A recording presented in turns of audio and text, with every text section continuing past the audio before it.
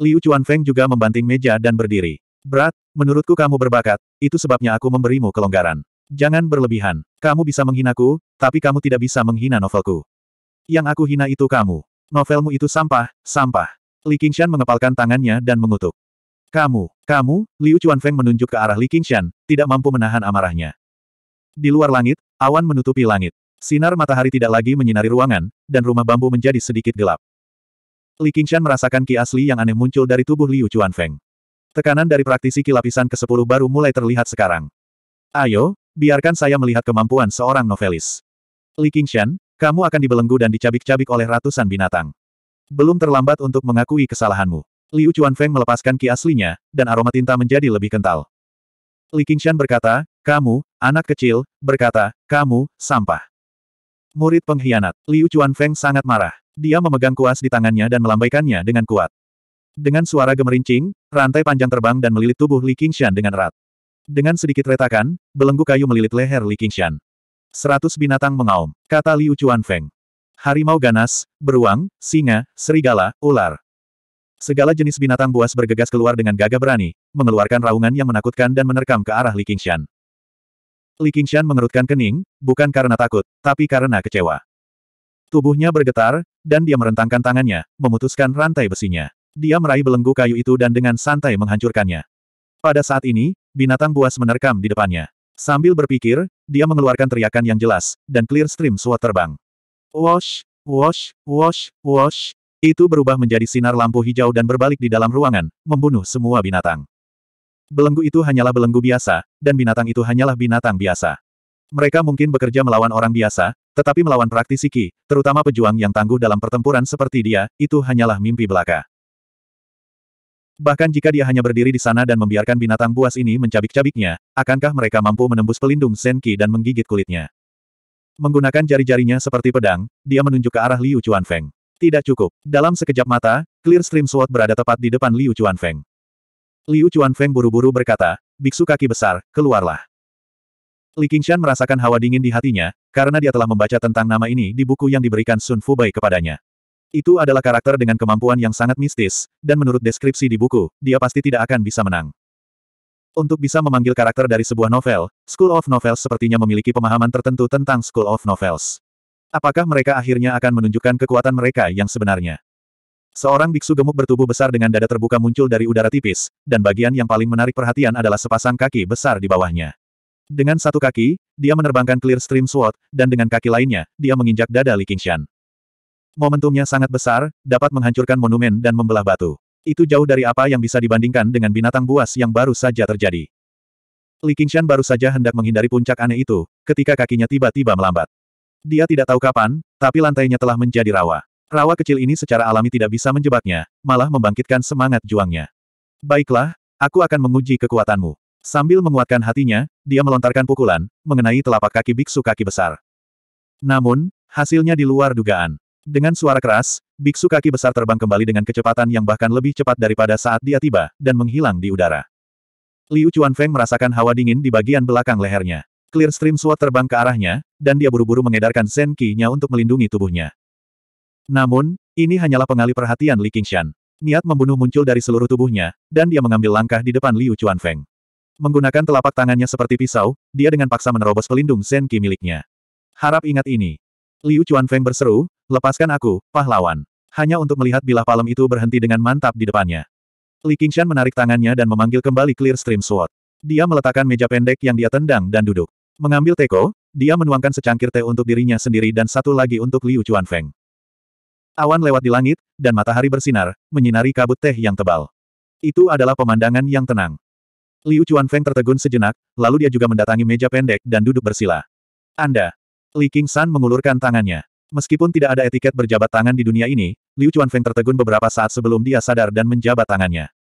Li King-san melambaikan tangannya. Mari kita rukun di masa depan. Hanya kita berdua di pulau ini, dan aku ragu ada orang yang akan datang ke sini di masa depan. Baru saja, dalam pertempuran, jika Liu Chuanfeng tidak menggunakan kekuatan sekolah novel dan hanya menggunakan identitasnya sebagai praktisi kilapisan ke-10 untuk merapal beberapa mantra normal. Jika Li Qingshan tidak menggunakan kaligrafi pedang kursif, akan sangat sulit baginya untuk menang. Biarpun dia memiliki tubuh yang kuat, akan sangat sulit untuk mengimbangi perbedaan tersebut jika lawannya tidak memiliki keinginan untuk bertarung. Ia ingin melihat kekuatan aliran novel, sedangkan Liu Chuanfeng ingin memamerkan kekuatan aliran novel, namun hasilnya tidak terlalu optimis. Tidak, itu secara langsung menghapus harapan terakhir Li Qingshan. Saat ini, dia sebenarnya lebih berpikiran terbuka dan tidak lagi merasa marah. Bagaimanapun, dia tidak kekurangan metode budidaya. Metode kondensasi air Gui sudah cukup untuk mendukungnya hingga ranah foundation building. Ketika saatnya tiba, dia tidak perlu khawatir tidak dapat menemukan metode kultivasi yang lebih baik. Hal terpenting untuk datang ke seratus aliran pemikiran adalah mempelajari alkimia, pandai besi, formasi, dan sejenisnya. Ini bisa dipelajari di sekolah mana pun. Identitas murid utama juga memberikan banyak kemudahan. Salah satunya adalah dia bisa dengan bebas masuk dan keluar dari seratus aliran pemikiran tanpa izin siapa pun. Di sekolah lain, untuk memperjuangkan identitas seperti itu, entah seberapa besar persaingan yang akan terjadi. Bagaimana bisa semudah di sekolah novel? Tidak dihargai dan tidak diperhatikan belum tentu merupakan hal yang buruk. Dia hanya perlu berkultivasi dengan damai. Liu Chuanfeng duduk di depan Li Qingshan, bertindak sangat hati-hati. Kali ini, sekolah novel benar-benar menerima murid yang luar biasa. Melihat Li Qingshan sedang berpikir keras, dia tidak berani mengganggunya. Setelah beberapa saat, dia mendengar Li Qingshan menghela nafas dan bertanya, kapan kita akan mulai berkultivasi? Anda baru saja melihat metode sekolah. Dapat dikatakan bahwa ada perubahan yang tiada akhir.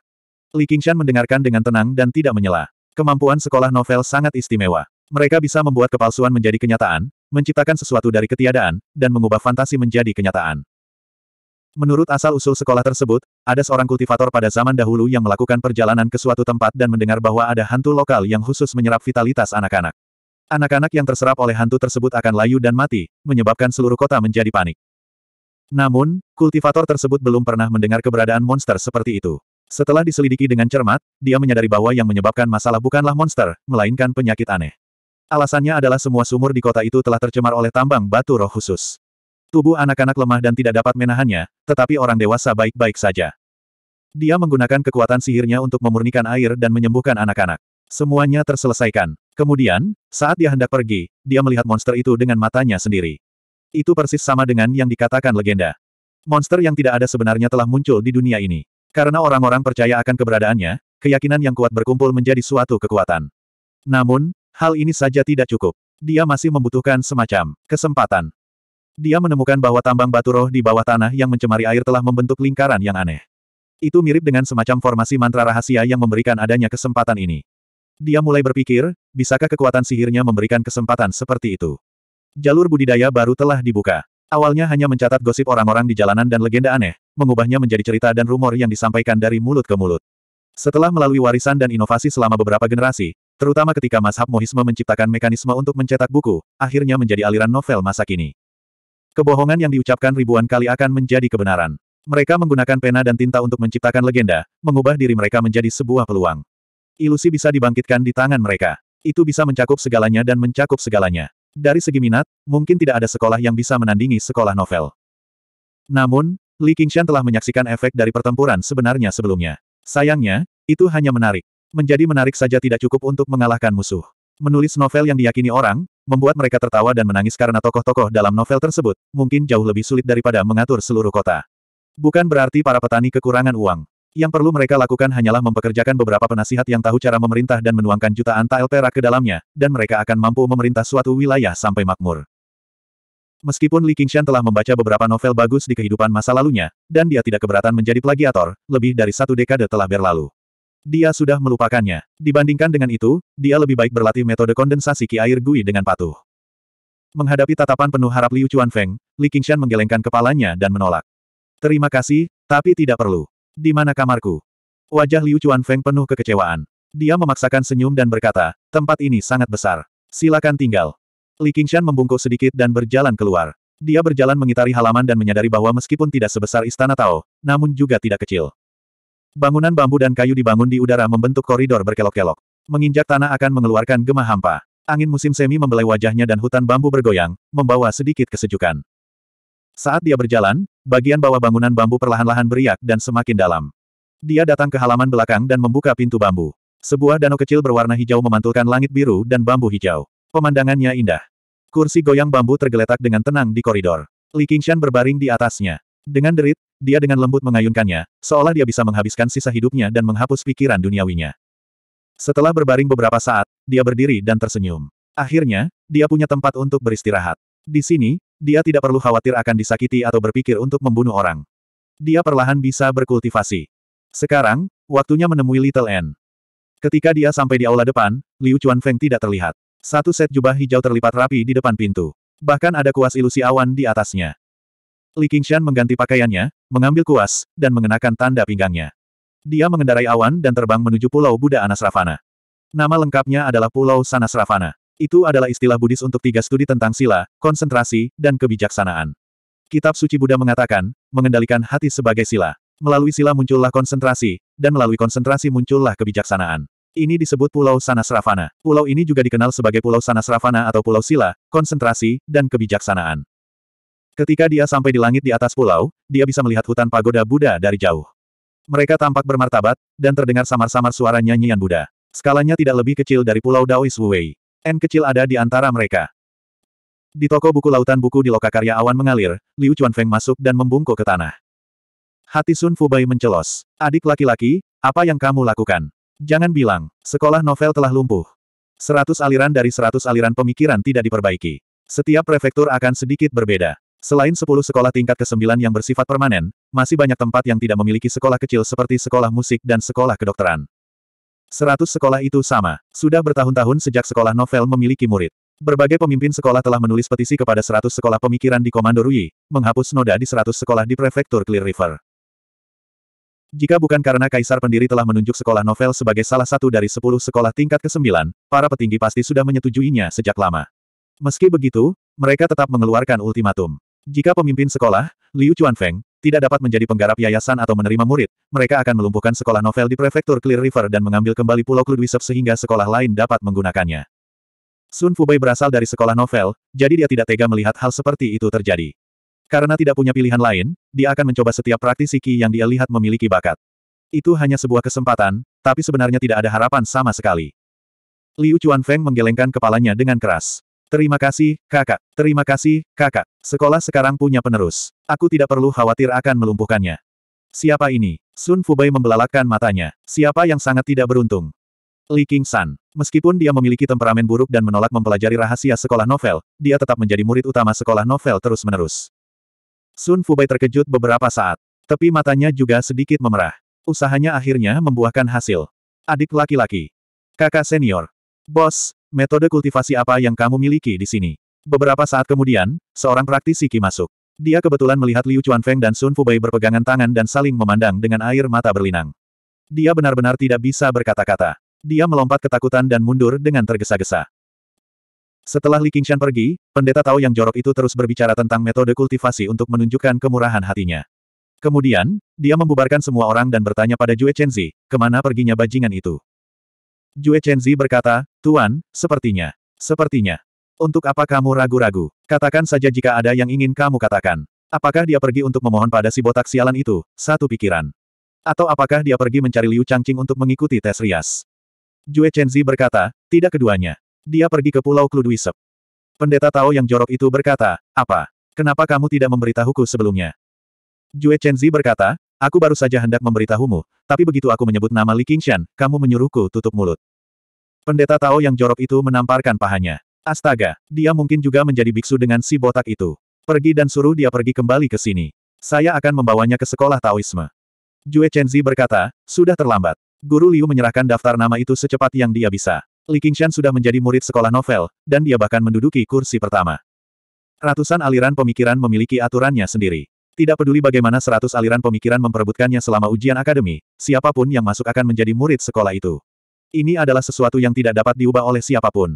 Jika tidak, ratusan aliran pemikiran akan mengalami kekacauan sejak lama. Pendeta Tao yang jorok itu dipenuhi dengan penyesalan. Tekad dan keteguhan Li Qingshan selalu sesuai dengan keinginannya. Orang lain mungkin berpikir bahwa Li Qingshan bersikap kasar karena memarahi seorang penggarap yayasan dan kepala sekolah. Orang lain mungkin berpikir bahwa Li Qingshan bersikap kasar, tetapi dia juga merasa kagum pada Li Qingshan. Ketika dia masih muda, dia dikenal karena kesombongan dan tidak menghormati orang yang lebih tua. Siapa yang tahu seberapa besar penderitaan yang dia derita karena sifat buruknya? Tuan, kamu bisa saja melepaskannya jika kamu sedikit memarahinya, tetapi apa yang kamu katakan setelah itu terlalu memalukan. Pantas saja dia begitu marah. Apakah kamu mengatakan bahwa guru salah? Saya tidak akan berani. 292. Anak itu bergabung dengan sekolah novel. Wang Pusi terkejut, bertanya-tanya apakah dia salah dengar. Hua Sengzan tersenyum pahit dan menjelaskan keseluruhan ceritanya. Gu Yanying ingin dia menjaganya, tapi dia malah mengurus sekolah novel. Dia tidak tahu bagaimana dia akan menjelaskan dirinya sendiri saat mereka bertemu berikutnya. Wang Pusi menghela napas dalam-dalam. Zhou Tong sudah bertindak terlalu jauh kali ini. Lupakan saja, ini adalah takdirnya. Katakan pada anak itu bahwa jika dia cukup berani untuk meniru Liu Chuanfeng dan menulis hal-hal cabul itu, aku akan mengeluarkannya dari penjaga Hawk Wolf. Hua Sengzan berkata, kepala keluarga Liu telah mengundang semua kepala keluarga ke Pulau Contention untuk membahas masalah ini. Kamu harus cepat pergi, kamu harus cepat pergi. Setelah Wang Pusi pergi, Hua Sengzan berbalik dan berjalan melewati pintu.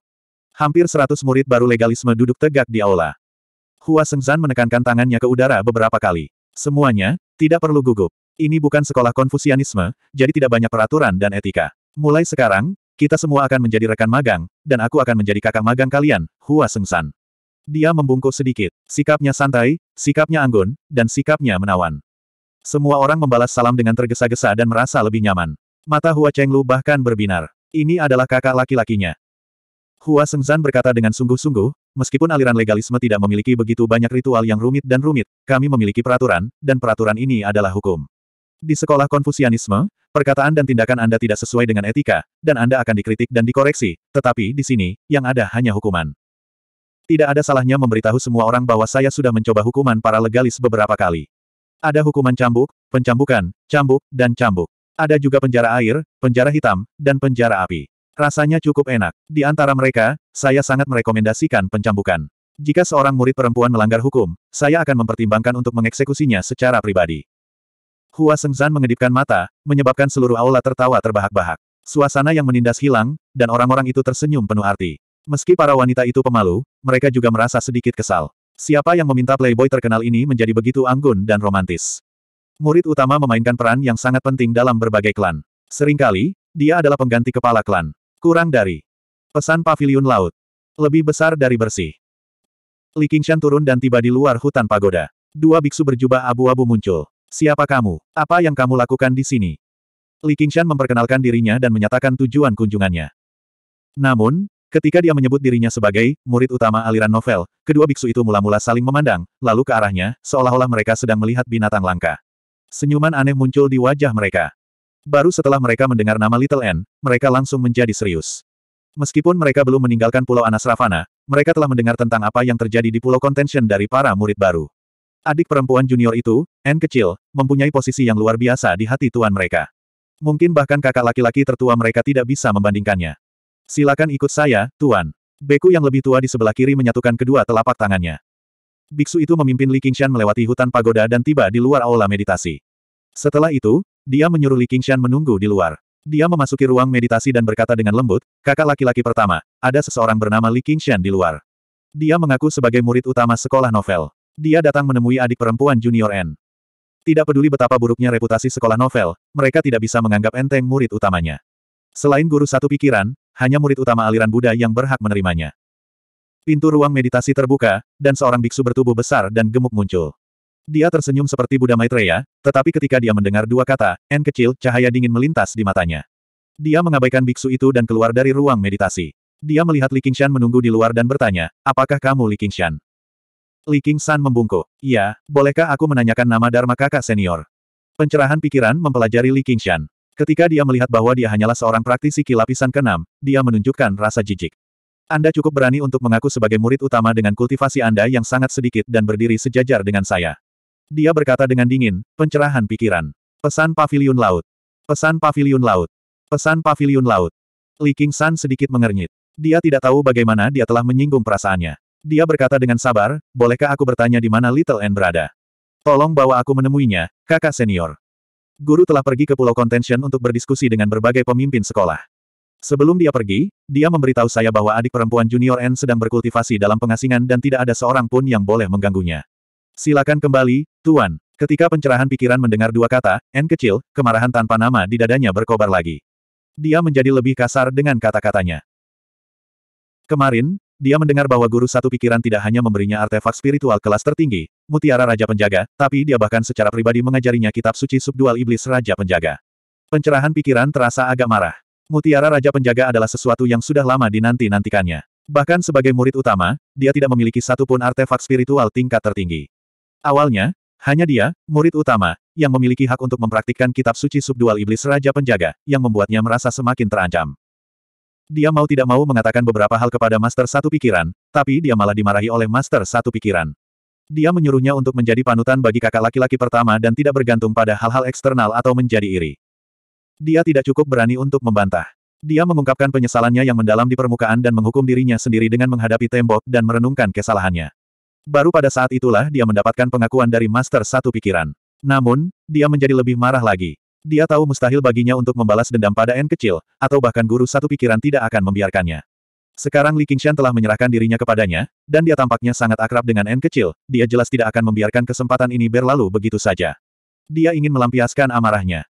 Jika kamu tidak mau membawaku bersamamu, aku akan mencarinya sendiri. Li Qingshan tidak mau repot-repot berbicara dengannya. Sekalipun N kecil mempunyai sesuatu yang penting untuk diurus, mustahil baginya untuk tidak menemuinya.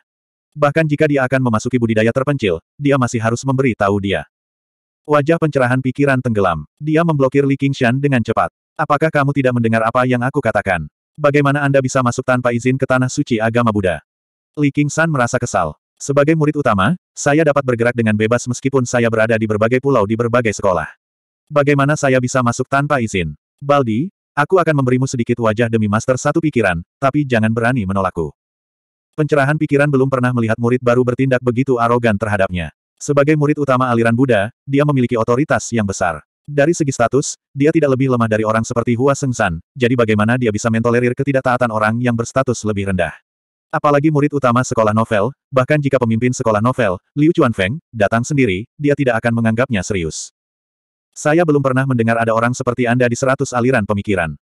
Siapa yang tahu jika Anda telah mencuri pakaian ini dan datang ke aliran Buddha kami dengan niat buruk?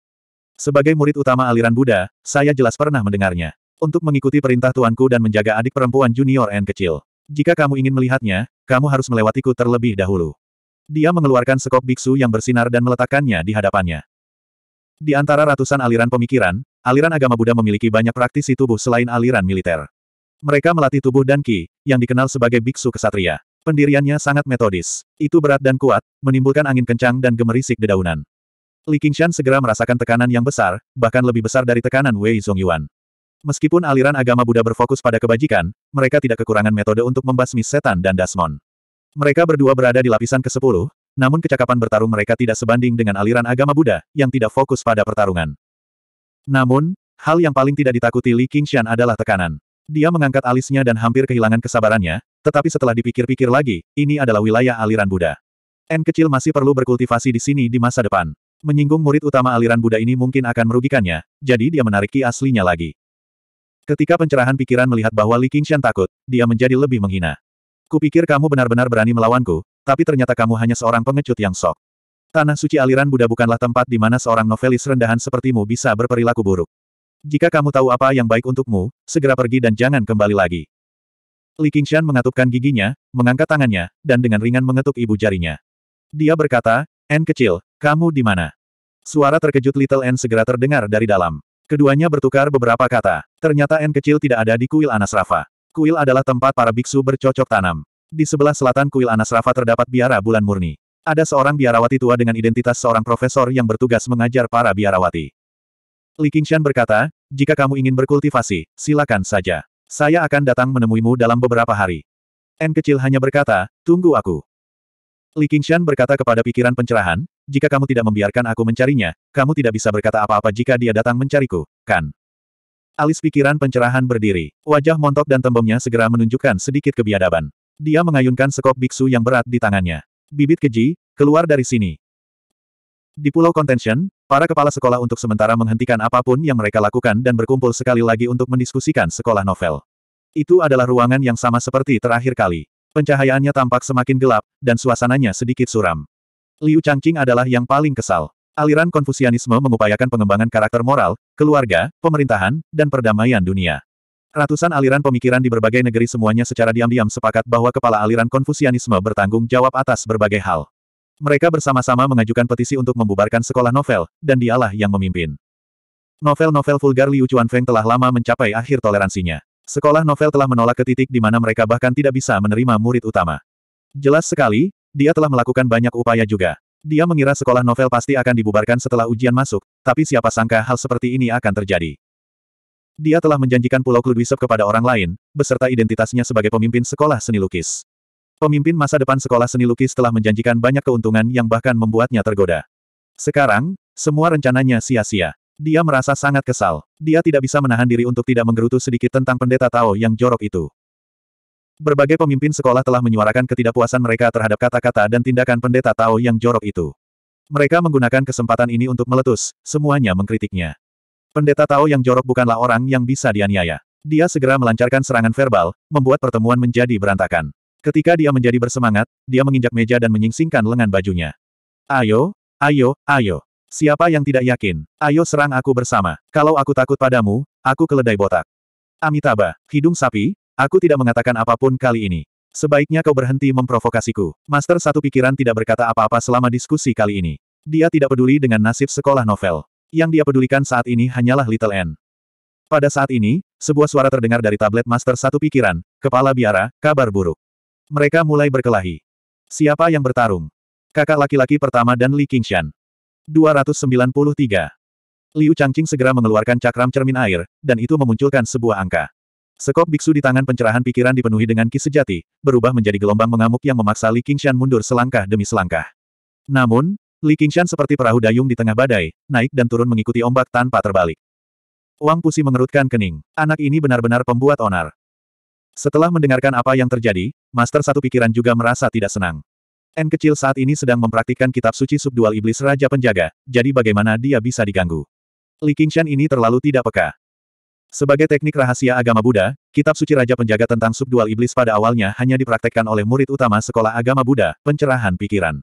Ini bukan karena dia tidak adil dan bias terhadap pencerahan pikiran, tapi karena kitab suci subdual iblis Raja Penjaga terlalu mendalam. Untuk itu diperlukan landasan dan kemampuan pemahaman yang sangat tinggi. Hal ini tidak lagi dapat dicapai melalui bakat saja. Untuk itu diperlukan landasan yang sangat mendalam dalam budidaya dan pemahaman agama Buddha. Itu bukanlah sesuatu yang bisa dilakukan oleh murid baru. Ada banyak murid Buddha dengan landasan mapan yang menghabiskan beberapa tahun mempraktikkan metode kultivasi ini. Alasan mengapa Master Satu Pikiran membuat pengaturan ini adalah untuk memisahkan Li Qingshan dari N kecil, terutama setelah dia mengetahui bahwa dia baru mengenal Li Qingshan selama setahun dan mereka tidak memiliki hubungan darah. Ini juga demi kebaikan Little N sendiri. Sebagai seorang murid Buddha, jika dia mempunyai terlalu banyak pikiran yang mengganggu, itu pasti akan mempengaruhi kultivasinya. Selama dia berpisah untuk sementara waktu, waktu secara alami akan melemahkan segalanya. Tujuannya yang lain adalah untuk menghapus kesombongan Little N sehingga dia akan memahami kekurangannya sendiri di hadapan seni Buddha yang menakjubkan yang tidak dapat dia kendalikan. Bahkan jika dia seorang yang berbakat, dia tidak akan bisa sukses jika dia tidak memahami esensi agama Buddha dan memutuskan ikatan fana serta berkultivasi dengan damai. Kemarin, senja, di luar kuil Anas Ravana di Biara Puremun. N kecil telah berganti jubah biksu abu-abu dan berlutut di hadapan Sang Buddha dengan tenang. Master satu pikiran mengambil pedangnya, ingin mencukurnya secara pribadi dan menyelesaikan upacara kuno ini. Ketika pisau cukur yang berkilau jatuh ke rambut hitam panjangnya, kepala biara Yiye dari biara bulan tenang, yang berdiri di sampingnya, merasa bahwa hatinya telah lama menjadi setenang sumur kuno. Tanpa diduga, dia tidak tega melakukannya. Saat pedang ini turun, akan menjadi seperti lampu Buddha kuno. Untuk memutuskan semua ikatan duniawi. N kecil mendongak untuk menghindarinya dan memandang ke arah Buddha Giok di ceruk Buddha. Kepala biara berdaun satu menemukan bahwa matanya yang hitam pekat lebih mirip sumur kuno daripada hatinya. Dia tidak bisa menahan tawa. Dia masih kecil. Gadis mana pun yang memiliki rambut panjang yang indah tidak akan bisa melepaskannya. Karena bakatnya yang tak terbayangkan, apakah hatinya juga gelisah? Dia mengatupkan kedua tangannya, melantunkan nama Buddha, sehelai rambut hitam halus bagaikan tiga ribu helai kekhawatiran. Memutuskan helai emosi berarti menghilangkan kekhawatiran Anda. Jangan ragu, hanya dengan pengorbanan Anda bisa memperolehnya. Tapi dia tidak tahu bahwa di dalam hati Little N, tidak masalah jika dia tidak memiliki rambut. Jadi bagaimana jika dia tidak memiliki tubuh? Dia tidak mempedulikannya sama sekali. Baik itu kepala berambut hitam atau 3000 kekhawatiran, itu awalnya dilahirkan untuknya, jadi bagaimana dia bisa melepaskannya begitu saja.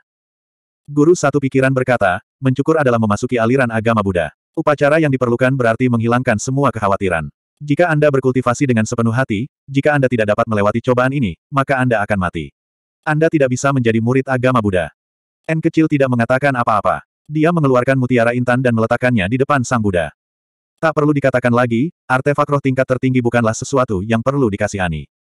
Master satu pikiran terdiam beberapa saat sebelum menghela nafas panjang. Dia mengizinkannya berkultivasi di biara bulan murni, tapi dia juga mengambil keputusan.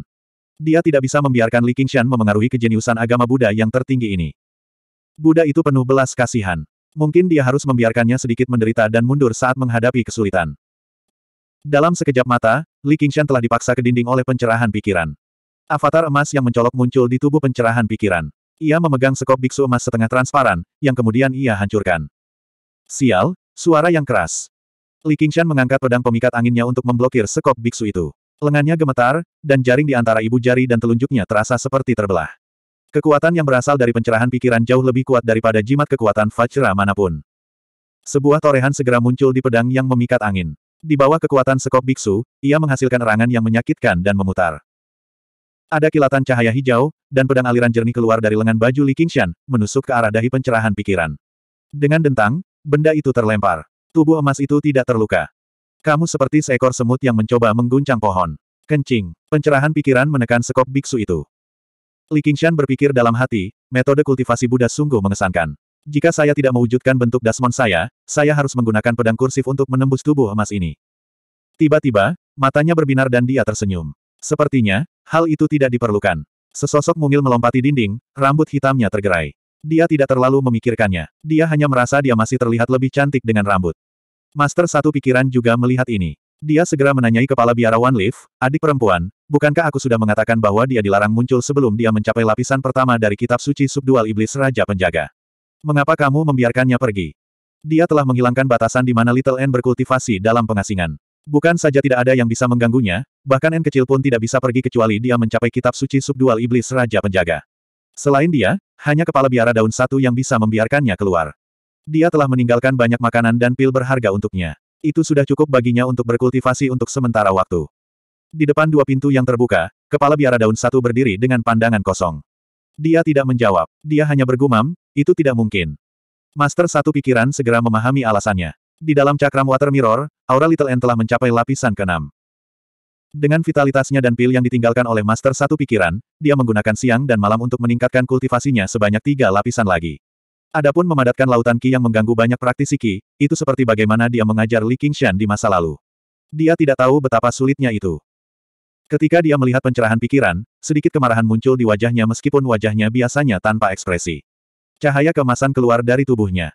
Bodhisattva menundukkan kepalanya, menunjukkan belas kasihan kepada enam alam. Raja penjaga melotot marah, menundukkan keempat iblis itu. Dia mengangkat Vajra tinggi-tinggi ke udara dan berubah bentuk di udara, pada akhirnya berubah menjadi pedang emas besar. Dia mengayunkannya ke punggung pencerahan pikiran. Tadi, Master Satu Pikiran masih memiliki keraguan, tapi di akhirnya yakin sekarang. Dia memang telah mencapai lapisan pertama dari kitab suci subdual iblis Raja Penjaga. Mustahil bagi mutiara Raja Penjaga untuk mencapai hal seperti ini. Pencerahan pikiran merasakan bahaya dan mengayunkan sekop biksunya ke belakang. Dua kekuatan dahsyat itu bertabrakan dan menghasilkan suara gemuruh yang memekakkan telinga. Pencerahan pikiran menatap avatar Raja Penjaga dengan tidak percaya. Dia mundur dan menghantam dinding batu di belakangnya dengan keras. Dinding batu bergetar dan puing-puing berjatuhan. N kecil menggunakan kekuatan itu untuk melompat mundur dan meniadakan kekuatan yang luar biasa itu. Kedua raja penjaga itu saling menatap dengan marah. Meskipun avatar raja penjaga yang dikeluarkan oleh Little N sedikit lebih kecil, itu tampak nyata. Dengan dukungan mutiara raja penjaga, ia tidak lagi lebih lemah dari pencerahan pikiran. Semua biksu yang menyaksikannya tercengang. Apakah ini benar-benar adik perempuan N kecil?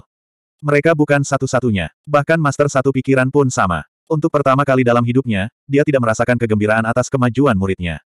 Sebaliknya, dia merasakan sedikit rasa takut yang campur aduk. Ini adalah bakat yang menakutkan. Kitab Suci Subdual Iblis Raja Penjaga adalah teknik rahasia agama Buddha yang diyakini oleh guru satu pikiran bahwa N kecil tidak akan dapat memahaminya dengan mudah. Dibandingkan dengan jalan tulang putih dan keindahan luar biasa, yang merupakan kemampuan tertinggi yang memungkinkan seseorang beralih dari agama Buddha ke alam iblis dan menjadi bodhisattva tulang putih, hal itu jelas tidak sulit sama sekali. Namun, di bawah bimbingan Oksen, dia dengan paksa mempelajari kemampuan ini dalam keadaannya sebagai hantu. Setelah itu, dia membaca kitab suci Buddha, terus-menerus memperdalam dan memahaminya. Kitab suci subdual iblis raja penjaga sama dengan kitab Buddha yang pernah dia baca di masa lalu. Hanya dia yang memahami esensi jalan tulang putih dan keindahan luar biasa, dan hal itu mulai menghasilkan perubahan yang aneh. Karena bahkan para Buddha pun bisa menjadi iblis, lalu bagaimana jika dia adalah raja penjaga? Untuk pertama kalinya, pendeta Tao yang jorok, Zhou Tong, merasa bahwa memiliki murid seperti dia belum tentu merupakan hal yang baik, karena mungkin dia dapat memasuki budidaya terpencil selama beberapa bulan, hanya untuk mengetahui bahwa muridnya telah menjadi lebih baik. Lebih kuat dari dia ketika dia muncul. Dia tidak lagi memiliki harapan bahwa Yu Zijian bisa melampaui N kecil. Sebenarnya, jika Little N bersekolah di sekolah Taoisme, bahkan dengan bakatnya yang luar biasa, tingkat kemajuannya hanya akan sangat mencengangkan. Master satu pikiran itu benar. Dia memang ditakdirkan bersama Sang Buddha, namun dia bukanlah pengikut Sang Buddha, melainkan musuh Sang Buddha. Ada pepatah yang mengatakan bahwa hanya musuhmu yang paling memahamimu di dunia ini. Apa yang ingin dia lakukan adalah menjadi musuh Sang Buddha. Hanya tekad ini saja yang telah melampaui para biksu biasa. Seluruh ruangan menjadi sunyi. Semua pemimpin sekolah berpengetahuan luas dan berpengetahuan luas. Mereka memahami kitab suci subdual iblis Raja Penjaga dengan sangat baik. Meskipun mereka tidak terlalu terkejut seperti Master Satu Pikiran, mereka masih cukup terkejut. Pendeta Tao yang jorok itu bertanya pada guru satu pikiran, berapa lama waktu yang kamu perlukan untuk mencapai lapisan pertama kitab suci subdual iblis Raja Penjaga? Guru satu pikiran berkata, saya bergabung dengan sekolah Buddha ketika saya berusia tujuh tahun. Saya berlatih ki sambil mempraktikkan Dharma Buddha. Ketika saya berusia 25 tahun, saya mencapai lapisan ke-9 dan mendapatkan pengakuan dari guru saya, sekolah sebelumnya.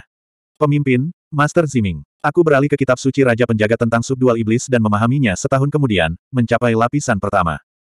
Lalu berapa lama waktu yang dibutuhkannya? Master satu pikiran berkata dengan susah payah, satu malam. Dan, beralih ke kitab suci Raja Penjaga tentang subdual iblis di lapisan ke-9 sepuluh kali lebih sulit dibandingkan saat N kecil berada di lapisan ketiga yang hanya menggunakan metode kondensasi ki bawaan sebagai fondasinya. Ini bukan lagi bidang kejeniusan. Dia adalah seorang yang menyimpang, monster. Pendeta Tao yang jorok itu menepuk bahu guru satu pikiran itu. Liu Changqing menghela nafas dengan lembut. Awalnya, dia ingin menggunakan beberapa metode untuk memaksa Li Qingshan keluar dari sekolah novel. Tentu saja, mustahil baginya untuk pindah ke sekolah lain. Jika dia terus berada di seratus aliran pemikiran, dia akan melanggar aturan seratus aliran pemikiran. Dia bisa memberinya beberapa manfaat dan merekomendasikannya ke sekolah lain. Sebagai penguasa sebuah prefektur, hal ini tidak akan membebaninya sama sekali. Mereka yang ingin mencapai hal-hal besar tidak boleh diganggu dengan hal-hal sepele. Namun kini, dia harus mempertimbangkan kembali rencana tersebut. Paling tidak, dia harus mengubah kata, memaksa, menjadi, membujuk. Dalam hati anak ini, Li Qingshan jelas menempati posisi yang sangat penting. Meskipun waktu dapat menghapus segalanya, dia tidak membutuhkan terlalu banyak waktu untuk mencapai levelnya saat ini. Dia tidak ingin, dan mungkin tidak pernah ingin, menanggung permusuhan dari orang seperti itu. Di kuil Anas Ravana, N kecil saat ini sedang terlibat dalam pertempuran sengit dengan pencerahan pikiran.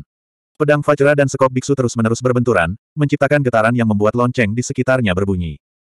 294. Runtuhnya kehendak. N kecil tidak bisa mengungkap kekuatan jalan tulang putih dan kecantikan luar biasa. Awalnya, Mustahil baginya untuk melawan pencerahan pikiran, praktisi kilapisan ke-10. Namun, artefak spiritual kelas tertinggi yang diberikan oleh Master Satu Pikiran kepadanya, Mutiara Raja Penjaga, memainkan peran penting di saat seperti ini. Artefak spiritual tingkat tertinggi bukanlah benda yang dapat dikontrol sepenuhnya oleh praktisi Ki. Hanya para penggarap yayasan pendirian yang dapat melepaskan kekuatan mereka yang sebenarnya. Namun, begitu Mutiara Raja Penjaga berada di tangan Little N, dia bisa menggunakannya. Ketika dia mencapai lapisan pertama kitab suci subdual iblis Raja Penjaga, dia melepaskan efek penuhnya. Kekuatannya tidak lebih lemah dibandingkan saat berada di tangan Master Satu Pikiran.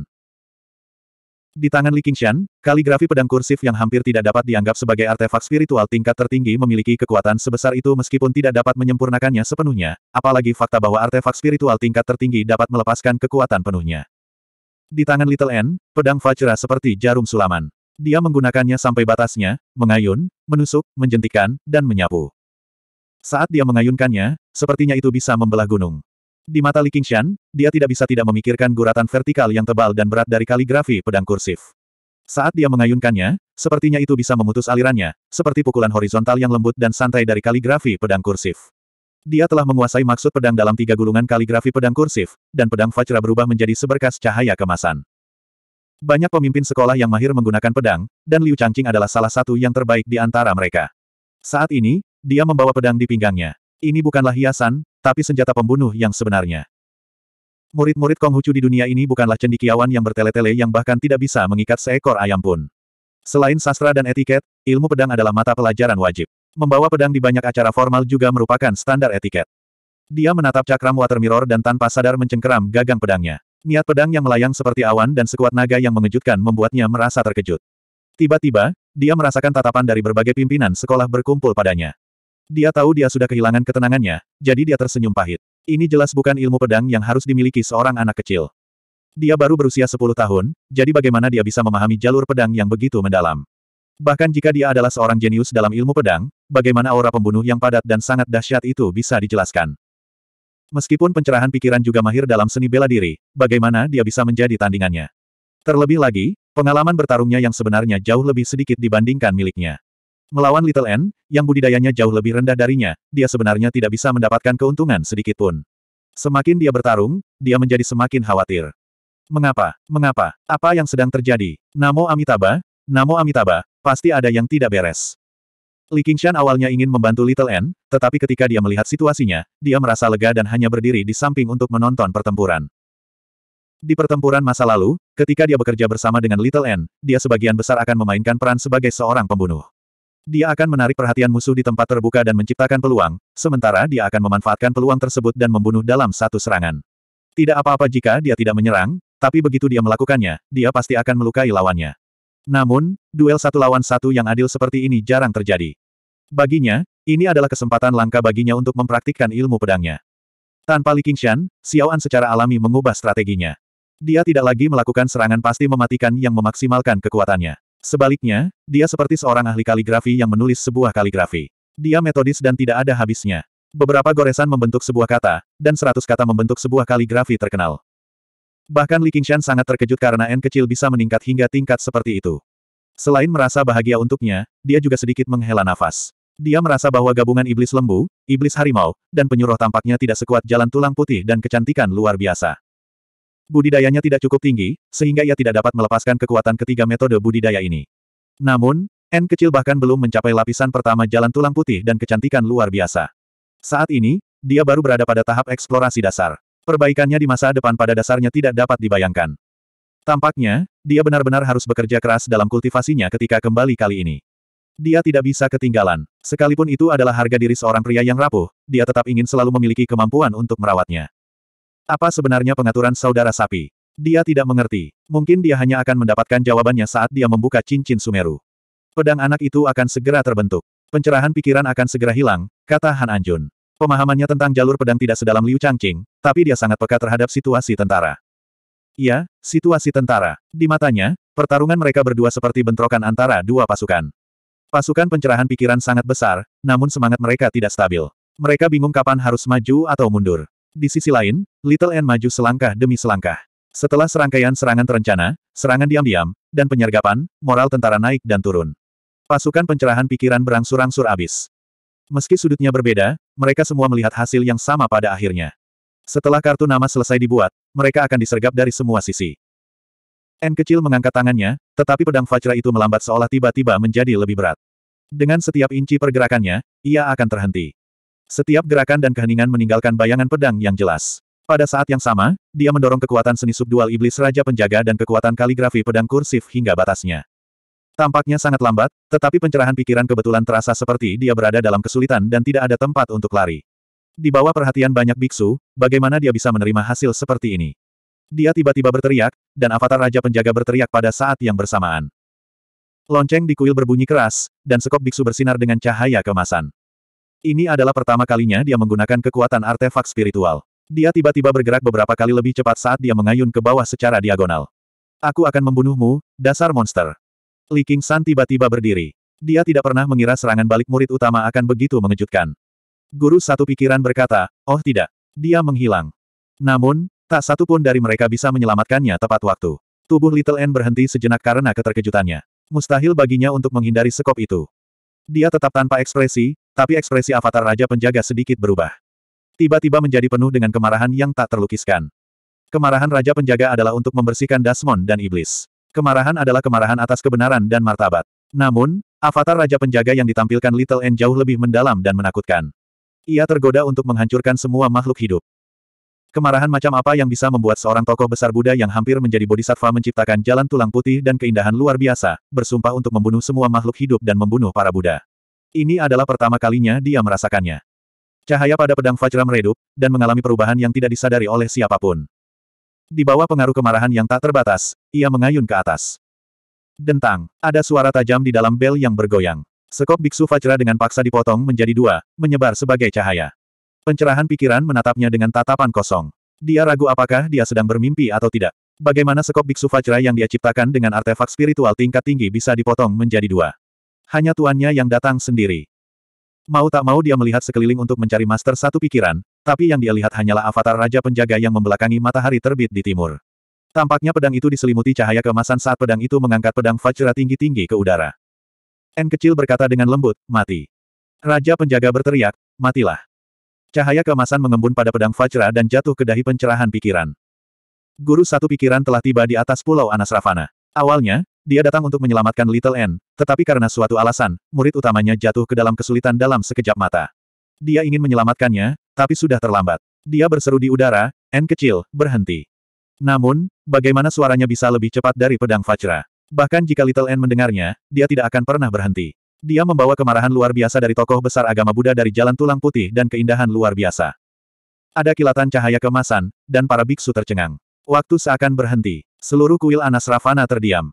Kemudian, sebuah retakan muncul. Dengan ujung pedang Vajra sebagai ujungnya, retakan itu memanjang hingga puluhan kaki, memperlihatkan retakan hitam yang menakutkan. Biara Zen yang tercerahkan, yang menghalangi celah itu, terbelah oleh pedang. Aula budidaya pusat masih berdiri megah sejenak sebelum runtuh. Pencerahan pikiran runtuh ke satu sisi. Avatar emasnya telah lenyap. Wajah gemuknya dipenuhi ketakutan saat dia menatap Li Qingshan. Baru saja, tepat pada waktunya, Li Qingshan menendangnya ke samping, itulah sebabnya dia berhasil bertahan. Kalau tidak, dia akan mengalami nasib yang sama seperti Aula Budidaya.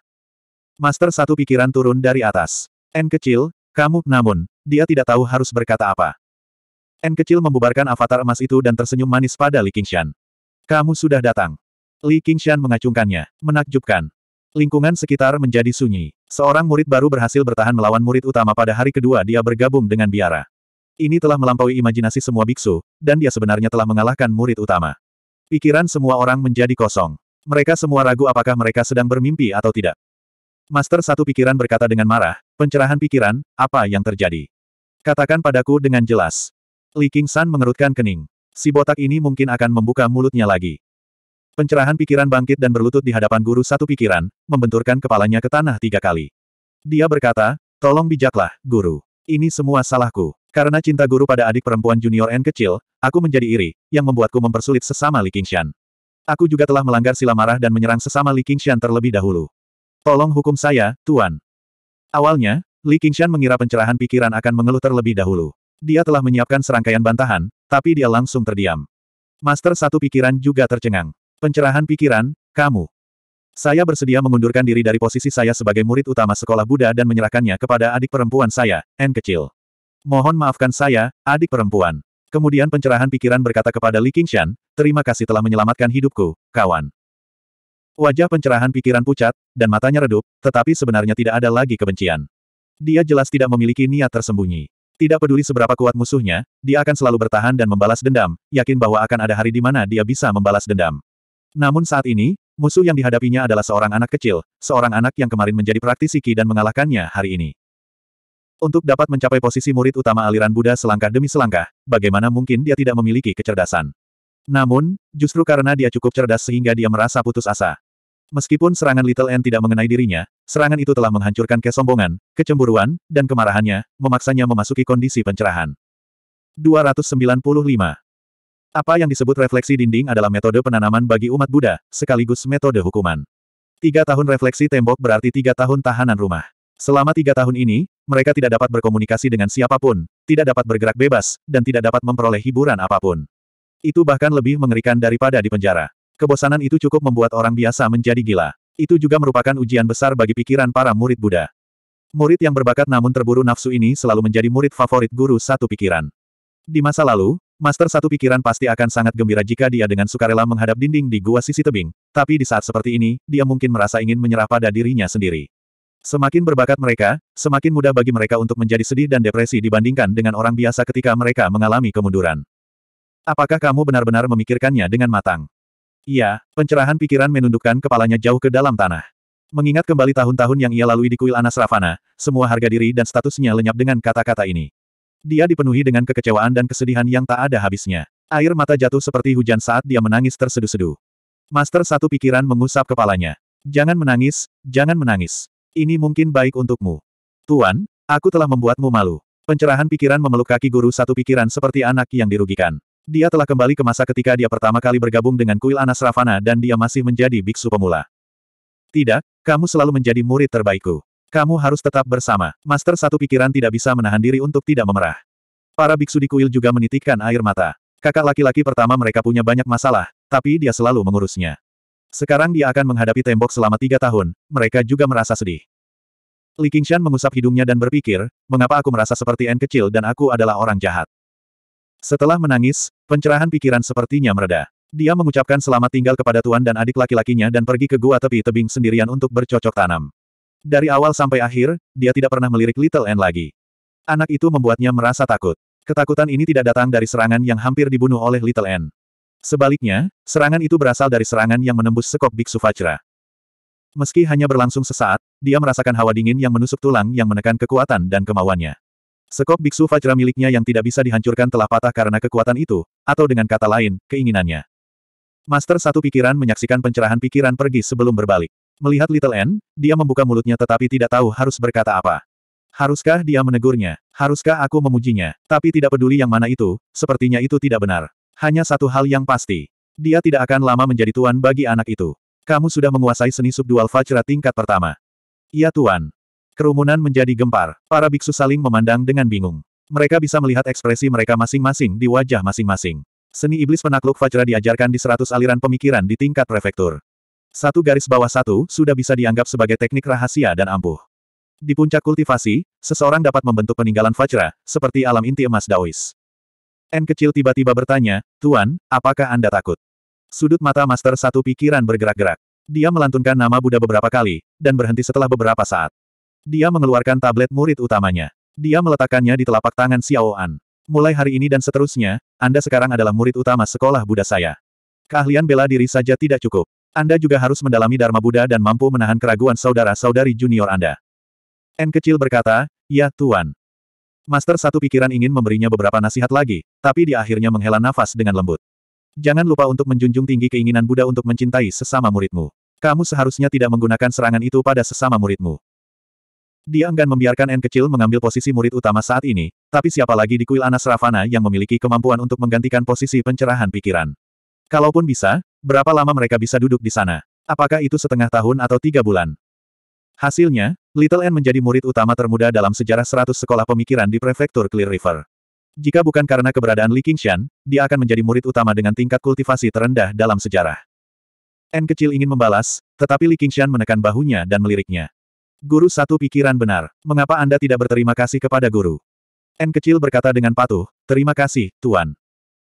Master satu pikiran mengerutkan kening dan berkata dengan tegas, Li Qingshan, sebelum N kecil mencapai lapisan pertama kitab suci subdual iblis Raja Penjaga, tidak ada seorang pun yang boleh mengganggunya. Itu perintahku, jadi mengapa kamu terus mengganggunya? Murid kesayangannya telah kehilangan statusnya sebagai murid utama dan dikirim ke penjara, jadi bagaimana mungkin dia tidak marah? Dia tidak bisa menyerang Little N, jadi dia jelas-jelas pergi mencari pengacau Li Qingshan sebagai gantinya. Guru satu pikiran, murid dari seratus aliran. Kami memiliki nafas dan cabang yang sama, berbagi suka dan duka. Tidak bisakah dia datang ke Pulau Anas Ravana untuk mencari seseorang? Sebelum Li Qingshan bisa mengatakan apa pun, sebuah suara terdengar dari arah hutan pagoda. Berbalik, dia melihat Liu Chuanfeng menaiki seekor bangau putih besar. Setelah berpegangan tangan dengan Sun Fubai, dia bahkan mengeluarkan alkohol dan piring, minum beberapa cangkir bersama. Ketika dia menerima berita itu, dia memucat karena ketakutan dan bergegas.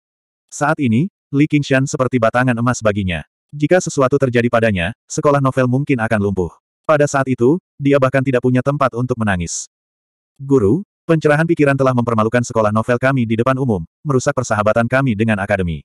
Dia bahkan mencoba menyakiti kami karena sedikit perselisihan, jadi mengapa Anda malah menyalahkan kami? Liu Chuanfeng melompat turun dari Gunung Bangau Putih dan mendarat di hadapan Li Qingshan sambil menggenggam tangannya. Ketika Li Qingshan melihat bagaimana lengan bajunya yang lebar berkibar tertiup angin dan jubah hijaunya berkibar-kibar, dia benar-benar terlihat anggun, yang merupakan pertama kalinya pendapatnya tentang dirinya sedikit berubah.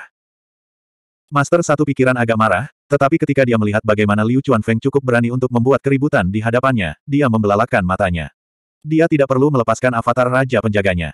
Tekanan yang besar dan bermartabat sangat menekan. Liu Chuanfeng membungkuk dalam-dalam. Saya minta maaf. Ini semua kesalahan sekolah novel saya. Mohon maafkan saya, guru. Murid terkutuk, mengapa Anda tidak meminta maaf kepada guru? Li Qingshan menyeringai dan menahan keinginan untuk menamparkan mulutnya. Dengan pemimpin sekolah seperti itu, apakah perlu khawatir sekolah novel tidak akan lumpuh? Pada akhirnya, masalah ini tidak terselesaikan. Li Qingshan membawa Little N kembali ke Pulau Kludwisep untuk berkunjung.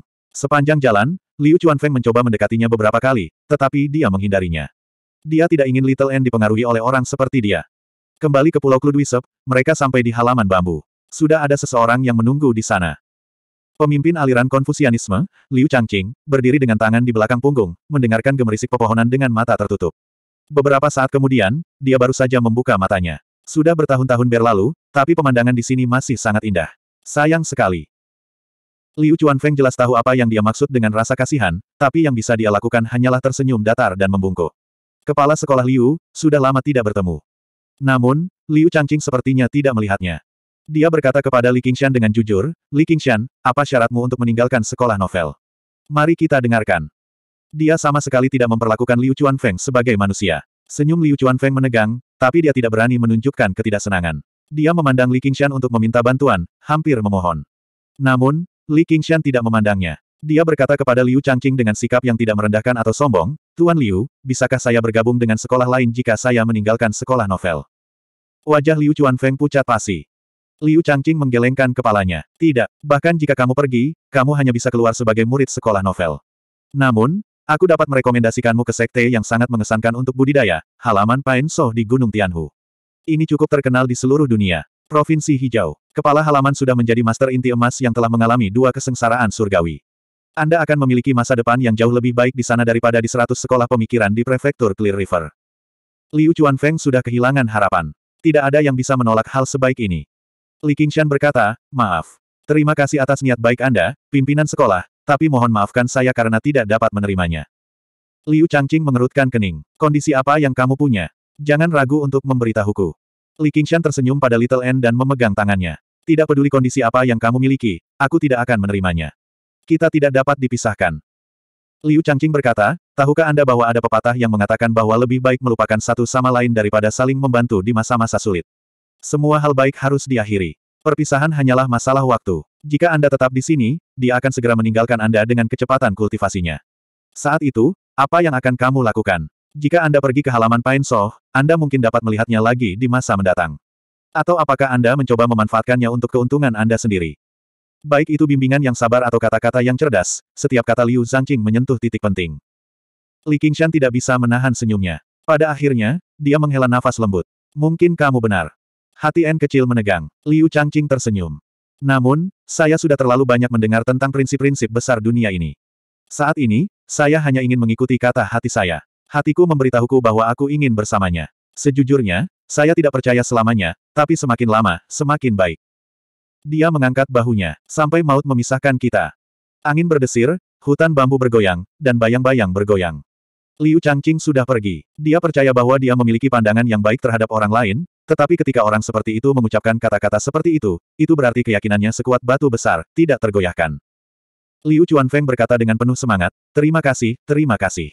Sekolah novel telah lolos dari bencana. Li Qingshan berkata, aku tidak melakukannya untukmu. Liu Chuanfeng berkata, kalau begitu, terima kasih. Saya akan menyiapkan makan siang untuk merayakan Anda resmi bergabung dengan sekolah novel. Li Qingshan berkata, sekarang baru jam 9. Tapi Liu Chuanfeng sudah melayang ke dalam rumah bambu, menyenandungkan sebuah lagu. Dia melihat mata besar N kecil berlinang air mata. Kenapa kamu begitu terharu? Aku melakukannya untuk diriku sendiri. Apa kamu tidak dengar? Aku memanfaatkanmu, Idiot. Li Qingshan mengusap kepala kecilnya. N kecil menyeka air matanya dan mengeluarkan pil berkilau dari seratus kantong harta karunnya, memberikannya kepada Li Qingshan. Ini adalah pil Buddha yang diberikan oleh guru satu pikiran kepada N kecil. Dilihat dari cahayanya, itu tidak sebagus pil seperti pil akumulasi kebajikan, tapi tidak terlalu jauh. Li Qingshan tersenyum pahit. Aku hanya bilang, sebaiknya kamu menyimpannya sendiri. N kecil bersikeras. Dia sepertinya akan menangis jika dia tidak menerimanya. Li Qingshan mengusap hidungnya. Yang bisa dia lakukan hanyalah menerimanya. Dia merasa aneh, jadi dia menepis pemikiran tersebut. Ayo pergi. Aku akan membawamu ke suatu tempat yang bagus. Di bagian dalam halaman, di pavilion di atas danau. Kursi goyang itu bergoyang pelan. Li Qingshan memeluknya, mencium aroma samar kayu cendana di tubuhnya. Dia membelai rambut halusnya dengan lembut sambil menatap ke arah danau. Matanya tertutup. Dia sepertinya tertidur. Saya melakukannya untuk diri saya sendiri. Dia tidak berbohong. Dia tidak hanya memiliki pemikiran mulia untuk merawat dan melindunginya. Dengan dia di sisinya, dia akhirnya tidak lagi sendirian. 296. Di Danau Ular Naga, sebuah pesawat ulang-alik terbang melintasi permukaan air dan tiba di luar Pulau Kludwisep. Pemimpinnya adalah seorang pria berotot dengan janggut lebat. Di sebelah kirinya ada seorang pemuda berkulit gelap, dan di sebelah kanannya ada seorang pemuda jangkung dengan mata melotot. Mereka semua mengenakan pakaian biru laut, dan kata, Mo, terukir di label pinggang mereka. Mereka adalah tiga orang yang pernah memasuki gua zombie bersama Li Qingshan di masa lalu dan membunuh zombie Daois. Hao Pingyang menyingkirkan pesawat ulang-alik itu dan mengamati pulau Kludwisep yang tenang dan tampak sepi. Dia mengerutkan kening dan bertanya, apakah kamu salah dengar? Dia benar-benar bergabung dengan sekolah novel.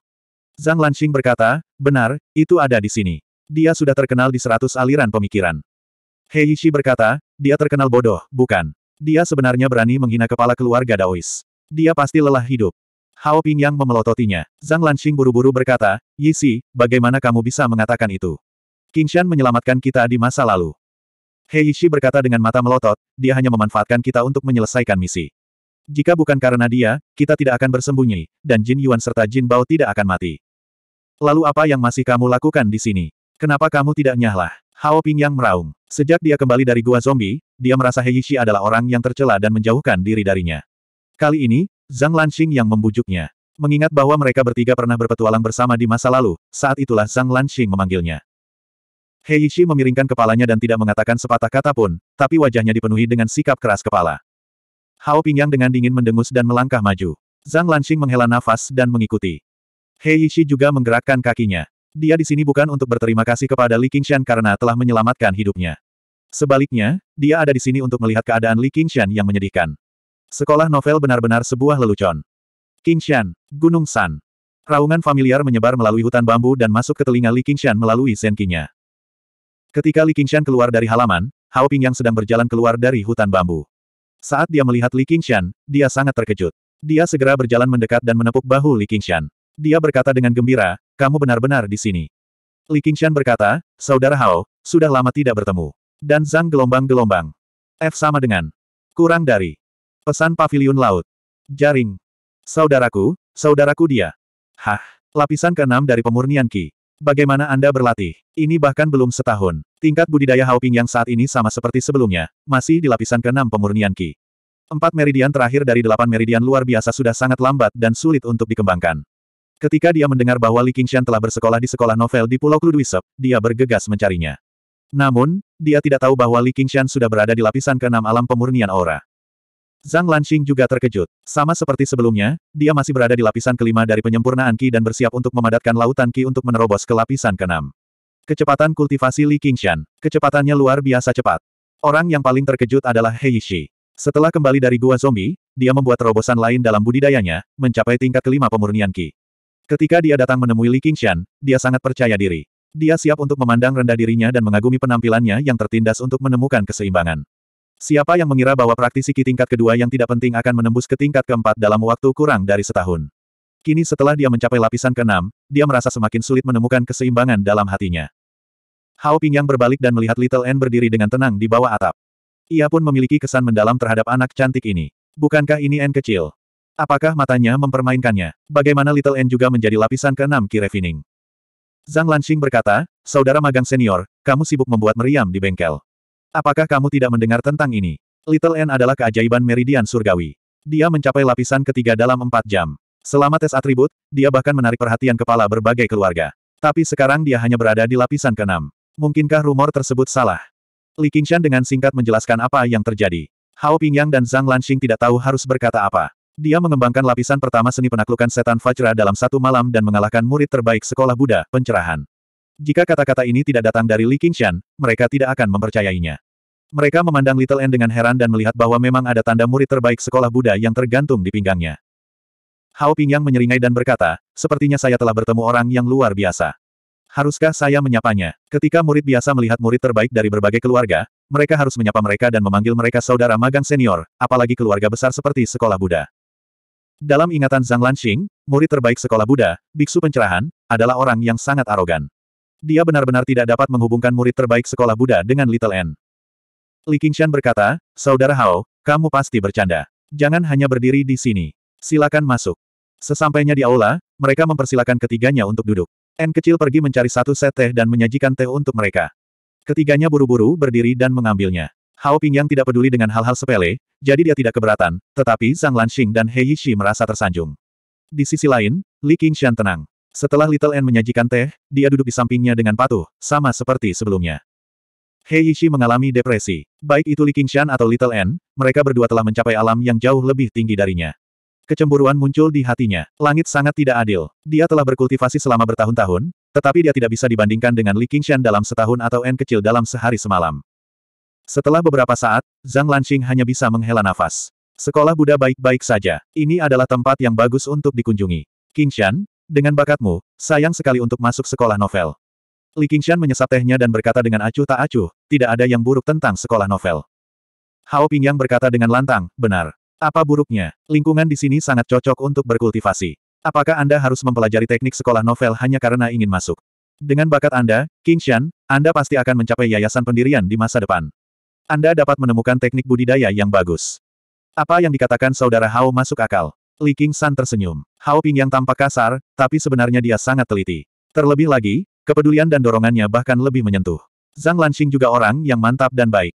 Hanya Heishi yang memiliki temperamen aneh. Dia menatap dengan mata terbelalak, memikirkan sesuatu. Hao Pingyang mengubah topik pembicaraan. Apakah kamu sudah memilih jurusanmu? Li Qingshan berkata, belum. Saya dengar ada banyak kursus, tapi saya tidak tahu harus memilih apa. Di ratusan aliran pemikiran, dari pulau contention hingga berbagai pulau, akan ada kelas-kelas. Dari penyempurnaan artefak dan alkimia hingga buku sejarah, akan ada kelas.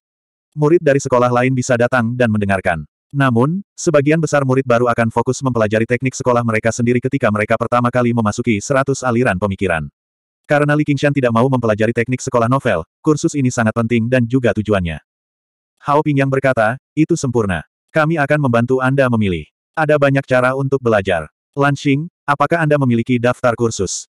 Iya, Zhang Lanxing buru-buru mengeluarkan selembar kertas dari kantong 100 harta karunnya. Ada banyak kata-kata kecil yang tercetak di atasnya. Setiap kata ditulis dengan rapi dan berukuran sama. Jelas sekali hal itu dilakukan oleh mesin dan bukan oleh tangan manusia. Li Qingshan melihat ke bawah dan melihat nama kursus tertulis di sana.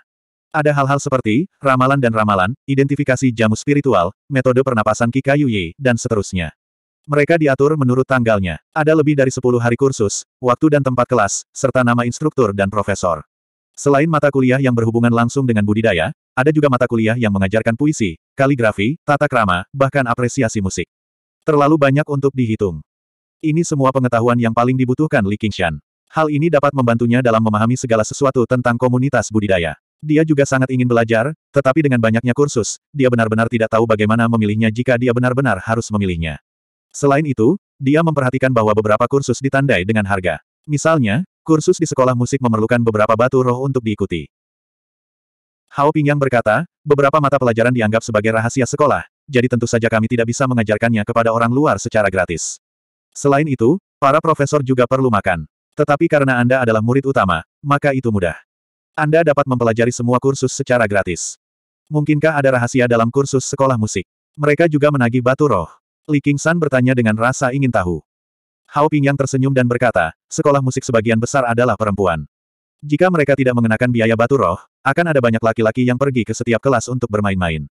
Dia mengedipkan mata pada Li Qingshan. Jika kamu punya waktu, kamu bisa pergi melihatnya. Mungkin kamu akan menikah. Bagaimanapun, itu tidak memerlukan batu roh. Sungguh membuat iri. Li Qingshan tersenyum dan berkata, apakah praktisi kekurangan wanita? Tidak bisakah mereka ditemukan di luar? Saya datang ke seratus aliran pemikiran untuk berkultivasi, bukan untuk pergi kencan buta. Hao Pingyang berkata, kamu salah. Bagaimana wanita di dunia fana bisa dibandingkan dengan pesona kultivator wanita?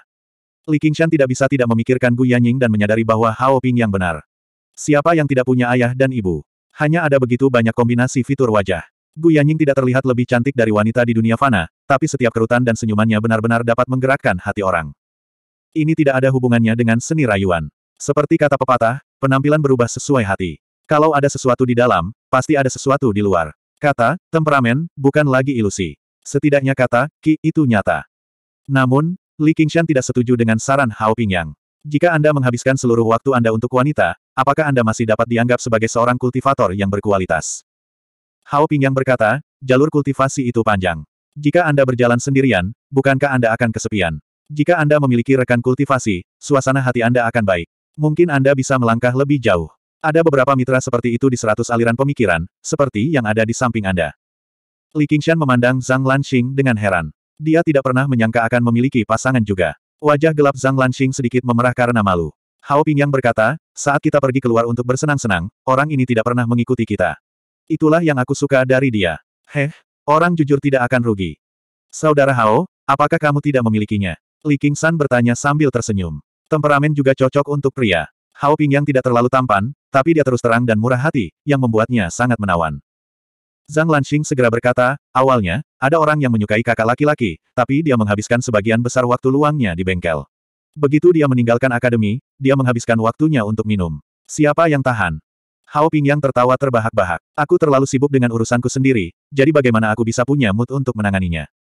Lalu kenapa kamu masih mencoba membujukku? Li King San tertawa terbahak-bahak. Seratus aliran pemikiran agak mirip dengan universitas-universitas di kehidupan masa lalunya. Itu gratis dan terbuka, tetapi lebih dari itu. Di sini, tidak masalah meskipun Anda tidak mau menghadiri satu pelajaran pun. Selama Anda memberitahu pimpinan sekolah, tidak ada yang akan peduli jika Anda ingin bepergian selama beberapa bulan. Anda hanya perlu menyerahkan batu spiritual setiap tahun. Adapun para murid dari seratus aliran pemikiran, mereka juga tidak seperti mahasiswa dari kehidupan masa lalunya. Mereka benar-benar ajaib. 297. Hao Pingyang berkata, bahkan jika saya tidak memiliki niat, mendengarkan musik mereka adalah suatu kesenangan yang langka. Tentu saja saya tidak akan melewatkan kesempatan ini. Jika ada kesempatan, mungkin benar seperti yang Anda katakan. Li King San menjilat bibirnya. Kedua pria itu saling berpandangan dan tersenyum. Zhang Lanxing berkata, jangan katakan lagi. Ada anak-anak di sini. Cepat pilih kursusmu. Sudahkah Anda memutuskan metode kultivasi Anda? Li King San mengangguk. Iya, metode kondensasi air gui. Saya tidak akan mengubahnya. Itu bagus. Apakah kamu punya hobi? Jimat? Formasi? Atau alkimia? Yang mana yang ingin kamu pelajari? Saya ingin mempelajari semuanya. Saudara Zhang, apakah Anda punya rekomendasi? Li Qingshan melihat ada lebih dari selusin kursus yang berhubungan dengan alkimia dalam daftar. Nama dan dosen tiap mata kuliah berbeda-beda. Dia tidak tahu bagaimana dia harus memilih. Hao Ping yang berkata, Anda telah menanyakan orang yang tepat. Lanxing telah mengikuti hampir semua kursus ini. Dia terkenal karena ketekunannya. Zhang Lanxing tersenyum rendah hati. Saya juga seorang amatir, tapi saya harus mempelajari semuanya. Meskipun ini jalur luar, itu bagus untuk kultivasi. Tapi saya tidak boleh terlalu terganggu. Yang terbaik adalah fokus pada satu, paling banyak dua. Jika ada juga banyak, itu tidak akan baik. Jika memungkinkan, saya ingin mempelajari semuanya. Tapi saya tidak terburu-buru. Saat ini, saya ingin fokus pada alkimia. Formasi dan alkimia akan menjadi pelengkap. Li King San tersenyum. Dia memiliki perjalanan panjang di depannya. Tentu saja, dia harus melakukan banyak persiapan.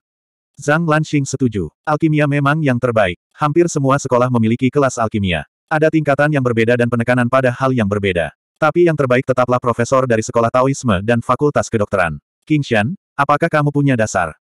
Li Qingshan berkata dengan jujur, saya baru belajar cara membuat pil pengumpul ki dari seseorang, dan hasilnya rata-rata. Zhang Lanxing berkata, kalau begitu sepertinya kita harus mulai dari dasar. Kebetulan ujian masuk akademi baru saja berakhir, dan ada banyak kelas baru seperti ini. Kemudian, Zhang Lanxing merekomendasikan beberapa kursus yang berkaitan dengan alkimia kepada Li Qingshan, menjelaskan pro dan kontra dari setiap kursus secara rinci, termasuk profesor mana yang tidak sabar dan mengajar dengan sangat cepat. Jika otak seseorang lambat, akan mudah bagi mereka untuk mengikutinya. Profesor mana yang lamban dan suka berlarut-larut. Pada akhirnya, dia memutuskan untuk mengambil kursus di Fakultas Kedokteran yang disebut Teknik Alkimia Dasar. Akan ada kursus setiap beberapa hari selama beberapa bulan. Inilah yang diinginkan Li Qingshan. Dia baru saja berselisih dengan kepala sekolah Daois. Jika dia menghadiri ceramah sekarang, bahkan jika penganut tahu yang ceroboh itu bisa mentolerirnya, murid-muridnya mungkin akan menimbulkan masalah baginya. Dia hanya ingin berkultivasi dengan damai di seratus aliran pemikiran dan meningkatkan kultivasinya. Dia tidak ingin bersaing dengan orang lain. Kemudian, Zhang Lanxing membantu Li Qingshan memilih beberapa kursus yang berkaitan dengan jimat, formasi, dan artefak tempa. Dia memberi Li Qingshan pemahaman sederhana tentang sejarah dan pengetahuan umum tentang mata pelajaran ini sebelum memutuskan minat dan arahnya. Di antara mereka, Hao Ping yang secara khusus merekomendasikan kursus penempaan artefak dari sekolah Mohisme. Dia berkata dia akan membawa Li Qingshan mengunjungi pulau mekanisme ilahi dari sekolah Mohisme ketika waktunya tiba.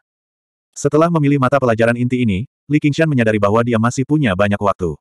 Dia dapat memilih beberapa mata pelajaran yang dia minati untuk mengisi waktunya, seperti pergi ke sekolah musik untuk mendengarkan beberapa lagu.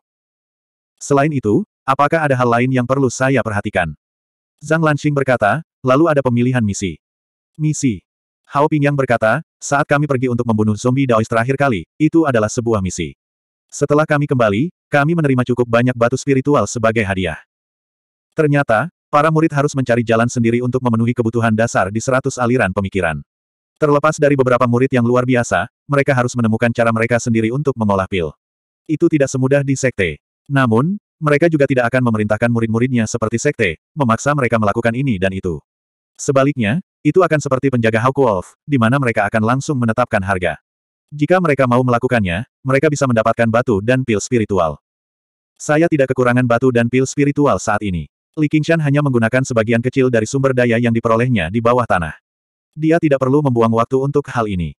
Zhang Lanxing menggelengkan kepalanya. Misi ini berkaitan erat dengan kultivasi Anda. Ini bukan hanya untuk mendapatkan batu spiritual. Kurang dari. Kurang dari buku pavilion laut lebih besar dari. Kurang dari jaringan lebih besar dari. Apa maksudmu? Misalnya, misi alkimia yang paling umum. Anda dapat menerimanya selama Anda tahu cara memurnikan pil Ki Gathering. Akademi akan menyiapkan materi untuk Anda, dan yang perlu Anda lakukan hanyalah menyerahkan sejumlah key gathering pil dalam jangka waktu tertentu, dan kamu akan menyelesaikan misinya. Jadi begitu, Li Qingshan segera memahami bahwa jika dia ahli dalam alkimia, dia bisa mendapatkan beberapa pil tambahan dari misi ini. Namun, jika dia buruk dalam alkimia, dia harus bekerja tanpa bayaran, dan dia bahkan mungkin kehilangan batu spiritual. Sebagai seorang alkemis baru, kemungkinan dia kehilangan uang jelas cukup tinggi. Namun, Meski dia kehilangan uang, dia masih bisa mengumpulkan banyak pengalaman dalam alkimia dengan cepat. Kalau tidak, mengumpulkan ramuan spiritual secara acak saja akan membutuhkan banyak usaha. Dia tidak bisa tidak mengagumi pikiran orang-orang yang mendirikan misi ini. Metode eksploitasi mereka terlalu brilian. Zhang Lanxing berkata, contoh lain adalah misi yang kami lakukan terakhir kali. Misi ini pada dasarnya memberi Anda pengalaman pertempuran yang sebenarnya. Ada juga beberapa misi yang menguji teknik Anda. Anda harus membiasakan diri dengan akademi terlebih dahulu. Anda dapat mengunjungi aula sekretariat di Pulau Contention ketika waktunya tiba. Mereka bertiga mengobrol dan tertawa. Waktu berlalu sangat cepat. Sebelum mereka menyadarinya, matahari telah terbit di tengah langit. Hei Yishi tidak berkata apa-apa. Dia duduk di satu sisi, menatap Li Qingshan dari waktu ke waktu. Siapa yang tahu apa yang dia pikirkan? Tiba-tiba, Li Qingshan berhenti berbicara dan menatap hutan bambu di luar halaman. Awalnya, dia mengira Liu Chuanfeng telah kembali, tetapi yang dia lihat hanyalah seorang pria tampan berpakaian hitam muncul dari hutan bambu dan berjalan menuju halaman. Hao Pingyang menjadi galak. Itu adalah murid utama lainnya. Dia adalah murid utama sekolah legalisme, Hua Sengsan. Kenapa dia ada di sini? Zhang Lanxing berpikir, tiba-tiba aku teringat bahwa Li Qingshan adalah penjaga Hawk Wolf. Jangan bilang dia di sini untuk mencelaku. Bagaimanapun, Li Qingshan telah bergabung dengan sekolah novel. Bahkan jika dia adalah murid utama, itu tidak akan menjadi mulia. Wajah kaku Heishi langsung bersinar dengan senyuman. Mereka bertiga tak berani meremehkan sosok berpengaruh tersebut. Mereka membungkuk dan berkata, Salam, kakak. Hua Sengzan membalasnya dengan sedikit mengangguk. Dia melirik N kecil di samping Li Qingshan. Dia mempunyai banyak informasi, jadi dia sudah tahu tentang apa yang terjadi di Pulau Anas Ravana. Jika bukan karena jaminan uang pusi, bahkan dia akan kesulitan untuk mempercayainya. Kemudian ketika dia melihat kultivasinya di lapisan keenam, dia menghela nafas dalam. Siapa pun yang berani menyebut diri mereka jenius di hadapannya tidak akan tahu malu. Dia langsung melanjutkan pengejaran. Kamu menolak Prefek Liu. Li King-san menjawab, ya. Hua Sengzan menghela nafas sambil tersenyum. Tidak ada yang bisa kulakukan mengenai hal itu. Namun, Wang Tua menyuruhku untuk menyampaikan pesan kepadamu. Pesan apa? Hua Sengzan berbalik dan melihat Liu Chuanfeng turun dari langit dengan seekor bangau putih dengan kotak makan siang di satu tangan. Dia berkata, aku akan memberitahumu nanti. Li Qingshan segera memahami bahwa pesan itu jelas berhubungan dengan Liu Chuanfeng, dan itu jelas bukan sesuatu yang baik. Namun, tidak mudah baginya untuk mempertahankan sikap seperti itu bahkan ketika menghadapi Liu Chuanfeng, yang seperti tikus jalanan. King Shan, aku kembali. Burung bangau putih menghilang begitu mendarat. Liu Chuanfeng berdiri diam. Dia sedikit terkejut melihat begitu banyak orang di sana. Ketika dia melihat Hua Sengzan berdiri di sana, dia berinisiatif untuk membungkuk dan berkata, jadi itu Komandan Hua. Kehadiran Anda membawa terang ke tempat tinggal saya yang sederhana. Mohon maafkan saya karena tidak keluar untuk menyambut Anda. Meskipun keduanya berada di lapisan ke-10 dari praktisi Qi dan Liu Chuanfeng adalah kepala sekolah, status mereka tidak hanya berbeda satu tingkat. Di sisi lain, Hao Pingyang dan dua lainnya membungkuk hormat. Meskipun aliran novel dibenci oleh orang lain, praktisi Qi lapisan ke-10 bukanlah seseorang yang bisa mereka anggap remeh. Hua Sengzan mengembalikan busurnya. Dia tidak menunjukkan rasa jijik atau berpura-pura hormat. Dia melihat sekeliling dan berkata, tempat ini sangat sepi bahkan aku ingin pindah. Liu Chuanfeng berkata, selama komandan bersedia, saya akan menunggumu kapan saja. Ada banyak ruangan di sini. Mereka berdua mengobrol sebentar sebelum Liu Chuanfeng berkata, ini sudah larut.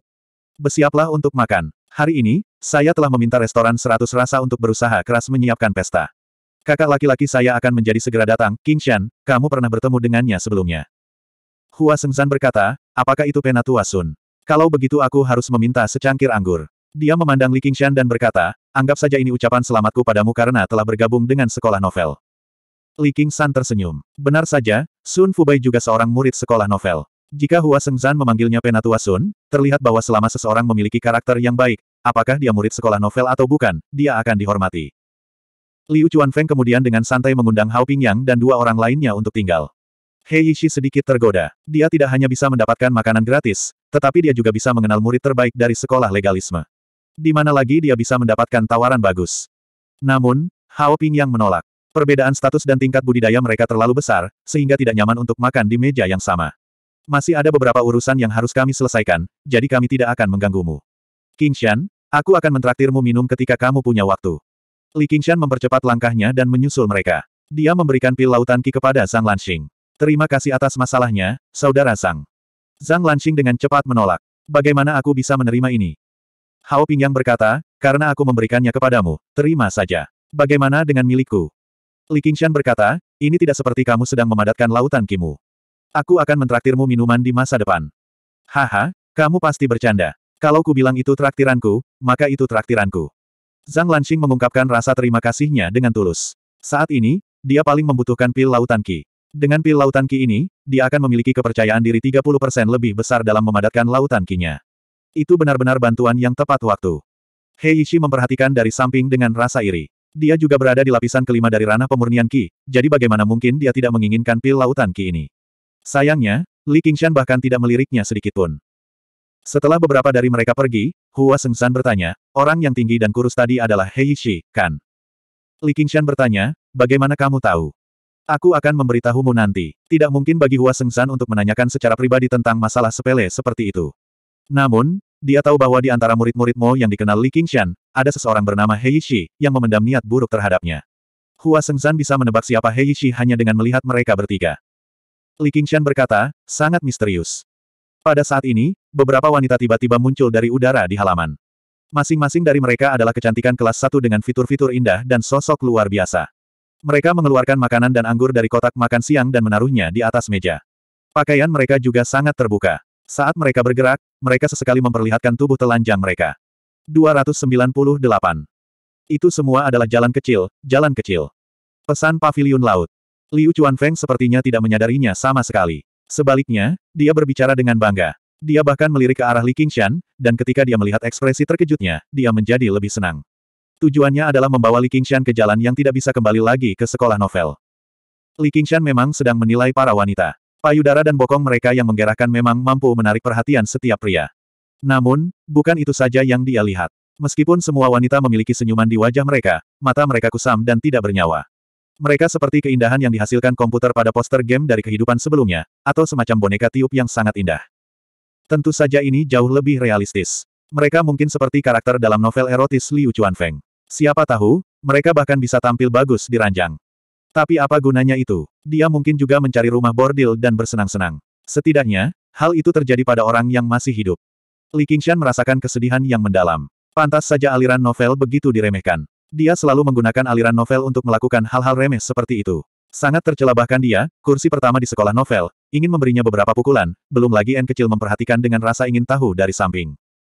Li Qingshan berkata dengan suara rendah, Liu Chuanfeng, sebaiknya kamu berhenti sebelum melangkah terlalu jauh. Liu Chuanfeng juga kesal. Beraninya dia bersikap kasar padanya di depan orang luar. Apakah dia benar-benar berpikir bahwa dia adalah kepala klan palsu? Namun, ketika dia bertemu dengan mata marah Li Qingshan, dia langsung teringat tamparan yang setajam pisau pagi ini. Dadanya yang membuncit menyusut ke belakang, dan dia berkata dengan malu-malu, kita semua adalah pelajar. Tidak bisakah kita membicarakan semuanya saja? Lihat dirimu. Anda telah membuat Komandan Hua menertawakan Anda. Cepat makan. Li Qingshan terbiasa melihat orang-orang berselisih satu sama lain karena perselisihan sekecil apa pun, jadi ketika dia melihat Liu Chuanfeng bertingkah seperti ini, dia merasa sangat tidak nyaman, seolah-olah dia telah melakukan kesalahan. Dia adalah orang yang menindas yang kuat, bukan yang lemah. Praktisi kilapisan ke-10 seperti Liu Chuanfeng mungkin sulit ditemukan di bawah langit. Hua Sengzan menggelengkan kepalanya. Jarang sekali kepala keluarga yang bermartabat berakhir seperti ini. Secara kebetulan, Sun Fubei masuk dari luar pintu.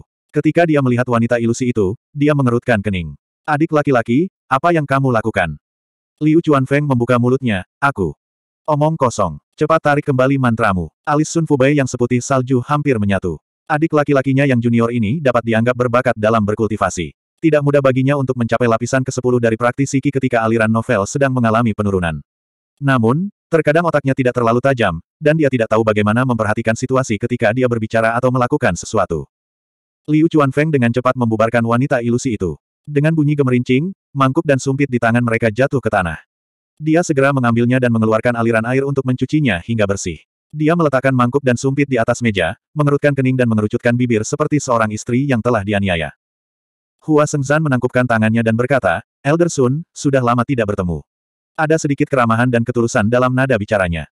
Apa penatua Sun? Panggil saja aku Paman Fu. Sun Fubei meraih tangan Li Qingshan. Anak muda, kita bertemu lagi. Aku tidak menyangka kamu benar-benar datang ke sini. Aku juga tidak menyangka kamu berasal dari sekolah novel, Paman Fu. Li Qingshan sepertinya menyiratkan sesuatu. Rencana orang tua ini sungguh mendalam. Sun Fubei berkata, Huh, kamu sudah melihat situasinya. Sekolah novel saat ini sedang agak terpuruk. Kamu tidak akan menyalahkanku karena memintamu mengisi tiga kata ini, kan? Li Qingshan berkata, tentu saja tidak. Jika bukan karena Anda, Paman Fu, saya khawatir saya tidak punya tempat tujuan sekarang. Meskipun tempat ini agak terpencil, namun tenang dan cocok untuk bercocok tanam. Ayo makan, kata Liu Chuan Feng lembut. Sun Fubei mengangkat tangannya dan berkata, tolong. Di jamuan makan, ada sesi bersulang dan bersulang. Meskipun Little N tidak berkata apa-apa dan Liu Chuanfeng tidak bisa berkata apa-apa, Hua Sengsan dan Sun Fubai hadir, jadi tidak ada keheningan yang canggung. Dengan indahnya pemandangan hutan bambu di hadapan mereka, bisa dikatakan baik tuan rumah maupun tamu sedang bersenang-senang. Sore harinya, Li Qingshan mengikuti Hua Sengsan ke tepi Danau Ular Naga. Ada hamparan kabut luas yang membentang sejauh mata memandang. Hua Sengsan mengatur kata-katanya dan dengan bijaksana memberitahu Li Qingshan. Peringatan Wang Pusi sangat bijaksana sehingga jika Li Qingshan tidak mendengarkan dengan cermat, dia akan mengira Wang Pusi sedang menyemangatinya. Li Qingshan berkata, bahkan jika dia tidak mengatakannya, aku tidak akan menyia-nyiakan waktuku untuk melakukan ini. Ngomong-ngomong, ada apa dengan Hei Shi? Hua Sengzan menjelaskan keseluruhan cerita dan bagaimana Hei Shi mengisyaratkan bahwa Li Qingshan adalah pembunuhnya selama interogasinya. Li Qingshan sangat marah saat mendengar itu. Bajingan sekali. Aku sudah menyelamatkan nyawanya berkali-kali, tapi bukan saja dia tidak bersyukur, dia bahkan berani menuduhku. Pantas saja dia tidak berani berbicara denganku sekarang. Dia bukan orang yang murah hati. Bukan karakternya untuk tidak membalas dendam.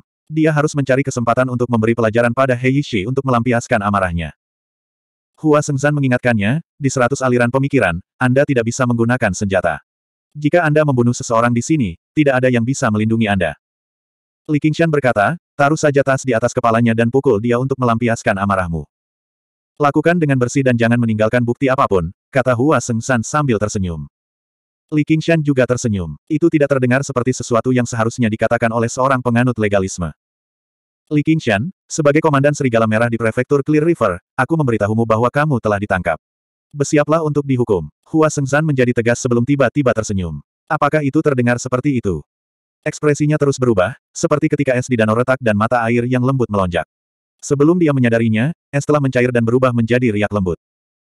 Li Qingshan tidak bisa tidak memikirkan pepatah yang telah dia baca di kehidupan masa lalunya. Tidak ada gadis di dunia ini yang bisa menahan senyuman dari Jiang Feng, dan tidak ada pahlawan yang bisa menahan serangan lembut dari Yan Nantian. Hua Sengzan memiliki sifat legendaris Jiang Feng.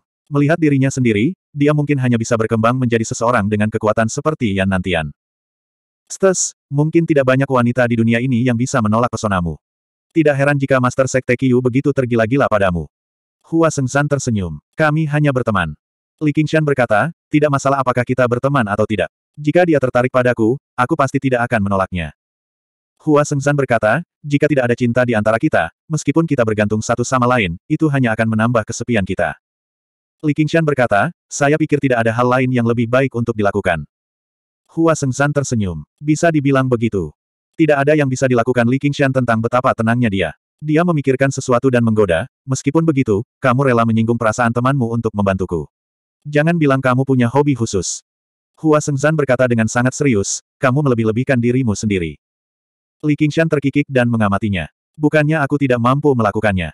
Hua Sengzan juga tidak tahan. Seseorang memintaku untuk menjagamu.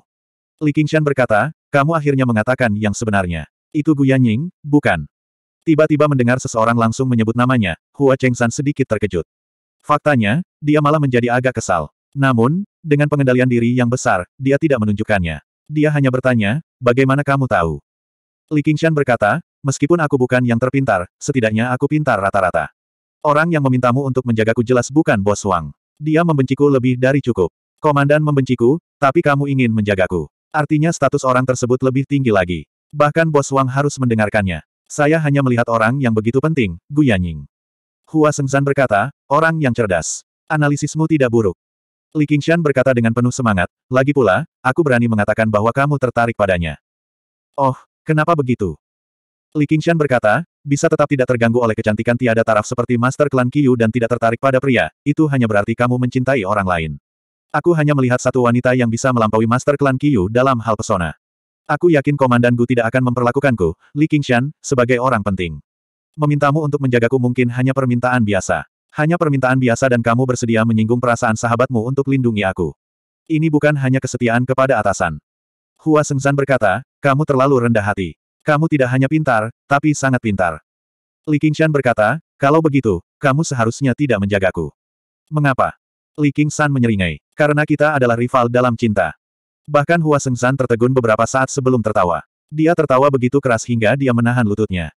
Kamu hebat, Li Qingshan. Aku sudah lama tidak tertawa sebebas ini. Of, saingan dalam cinta. Hahaha, ini menarik sekali. Li Qingshan tersenyum padanya. Dia sekuat batu yang digali dari jurang. Dia jelas tidak bercanda. Hua Sengzan juga berhenti tersenyum, namun senyuman di wajahnya tidak hilang. Kalau begitu, tahukah kamu seperti apa penampilan kami? Seperti apa? Seperti dua semut yang berebut gunung. Hei, pergilah, ini wilayahku. Aku bahkan tidak bisa memindahkan satu batu pun. Li Qingshan berkata, bahkan jika kamu seekor semut, selama kamu mendaki dengan keras, suatu hari kamu akan mencapai puncak gunung. Mendaki, tahukah kamu, pegunungan terus bertambah tinggi. Anda baru menaiki satu anak tangga kecil, dan itu sepuluh kali lebih tinggi. Bangun. Li Qingshan berkata dengan percaya diri, kamu meremehkanku. Hua Sengzan berkata, baiklah, kalau begitu aku pasti akan menjagamu. Mari kita lihat berapa lama kamu bisa mendaki. Li Qingshan terkejut. Tentu saja aku akan mendaki sampai aku mati. Jangan bilang padaku bahwa kamu akan mengejar seorang wanita seumur hidupmu. Dia menetapkan tujuan yang jauh untuk dirinya sendiri dan bekerja keras untuk mencapainya. Namun, dia tidak menganggap tujuan tersebut sebagai makna akhir hidupnya. Tidak peduli apakah itu Gu Yanying atau pergi ke surga ke-9. Jika dia terbunuh di tengah usahanya, dia hanya bisa mengangkat bahu dan meminta maaf kepada Brotherbull. Ini adalah tanda yang ditinggalkan di kehidupan sebelumnya, dan juga merupakan pengalaman mendalam dalam kehidupan ini. Rasa lapar dan dingin di kandang sapi membuat anak penggembala sapi itu hanya mau memakai baju berbahan katun dan makan daging. Sampai saat ini, tujuannya hanya setara dengan kemeja katun yang lebih besar dan daging yang lebih enak. Dia tahu lebih baik dari siapa pun betapa berharganya kedua hal ini. Kehangatan pakaian katun bisa menghangatkan hati seseorang, dan rasa dagingnya lebih enak dari semua ramuan. Namun, itu tidak suci, dan bisa diperoleh dengan sepasang tangan. Tidak ada hal lain yang lebih baik untuk kulakukan, tetapi kamu tidak akan memahami perasaan ini. Hua Sengsan tersenyum. 299. Kamu akan menyesalinya, kata Li Qingshan serius. Hua Sengsan menatap Li Qingshan. Perlahan-lahan, sudut mulutnya melengkung tak terkendali, dan dia tidak bisa menahan tawa. Li Qingshan mengangkat alisnya. Apakah kamu sudah selesai tertawa? Hua Sengzan memegang bahu Li Qingshan. Maaf, maaf, aku benar-benar tidak bisa menahannya. Setelah tertawa beberapa saat, dia berkata, aku bersedia menjagamu bukan hanya karena instruksinya. Kamu sungguh terlalu menarik. Jika Anda sedikit lebih tampan, itu bukan tidak mungkin. Li Qingshan merasakan hawa dingin di punggungnya ketika dia membalas kata-katanya. Hua Sengzan tertawa sambil menunggangi angin dan terbang ke langit. Senyuman di wajahnya berangsur-angsur menghilang, dan dia bergumam pada dirinya sendiri, apakah kamu menyesal? Li Qingshan berbalik dan kembali ke halaman. Dia melihat Liu Chuanfeng memegang toples anggur dan menuangkannya ke mulutnya. Sun Fubai sepertinya berusaha membujuknya. Liu Chuanfeng tidak mendengarkannya. Dia meletakkan toples anggur dan berkata, saya membayar meja makanan dan anggur ini dari kantong saya sendiri. Ketika tuan lain datang ke menara seratus rasa untuk makan, penjaga toko akan menyambut mereka dengan tangan terbuka. Tidak peduli apa yang mereka makan, dia tidak akan menagih satu batu roh pun, tapi aku harus membayar tagihannya dengan jujur. Kalau aku ingin menawar, aku harus dipandang rendah. Untuk apa semua ini? Itu semua agar kamu mengakui sekolah novel dan pelajari metode mereka. Sun Fubai berkata, adik laki-laki, kurangi sedikit saja. N kecil, ayo pergi. Saat Li Qingshan berbicara, dia melewati Liu Chuanfeng seolah-olah dia tidak melihatnya. N kecil melompat dan mengikutinya ke dalam keranjang bambu. Liu Chuanfeng tertegun, dan dia tiba-tiba melemparkan toples anggur itu ke tanah. Pergilah, kalian semua pergi. Lagi pula kalian semua sama saja. Kalian semua meremehkanku. Li Qingshan tiba-tiba berhenti dan berkata tanpa menoleh, Liu Chuanfeng, tolong jaga sikapmu. Mungkin Anda masih bisa mendapatkan rasa hormat dari saya, tetapi jika Anda hanya tahu cara minum dan buang air besar. Itu memang tidak patut dihormati. Sekolah novel telah jatuh ke kondisi seperti itu. Anda sebaiknya memikirkan sumber semua ini. Liu Chuan Feng terdiam. Kata yang bagus. Seorang pria dengan mahkota tinggi di kepalanya perlahan berjalan mendekat. Dia kurus dan tidak canggih, dan tidak lain adalah kepala sekolah Yin Yang, Mabui. Sun Fubei berpikir, Pulau Kludwisep hari ini. Suasananya sangat ramai tidak seperti sebelumnya. Itu dia. Dia telah membawa vitalitas ini, tapi berapa lama dia bisa mempertahankannya? Li Qingshan berkata, Li Qingshan memberi salam pada guru, saya tidak tahu kamu akan datang. Apa masalahnya? Seperti yang diharapkan, tatapan Mabuhi tertuju pada Little N, matanya dipenuhi keheranan dan harapan. Aku di sini untuk Little N. Pernahkah kamu mendengar tentang Cloud Book Case of the Seven Lot? Li Qingshan menggelengkan kepalanya, namun Sun Fubei berkata dengan terkejut, mungkinkah itu teknik rahasia tertinggi dari aliran Yin Yang, rak buku awan dari tujuh lot?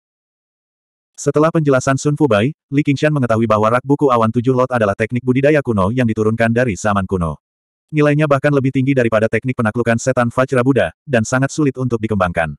Seseorang tidak hanya harus sangat peka terhadap lima elemen, tetapi mereka juga harus dapat menggunakannya dengan bebas. Bahkan pada zaman dahulu, hanya sedikit orang yang bisa mengolahnya. Namun, setelah dikultivasikan, itu akan menjadi sangat kuat. Selama seseorang mau mempelajarinya, mereka dapat menggunakan hampir semua lima elemen dan teknik yin dan yang. Aspek paling kuat dari Cloud Book Case of the Seven Lord bukanlah pertarungan, melainkan ramalan.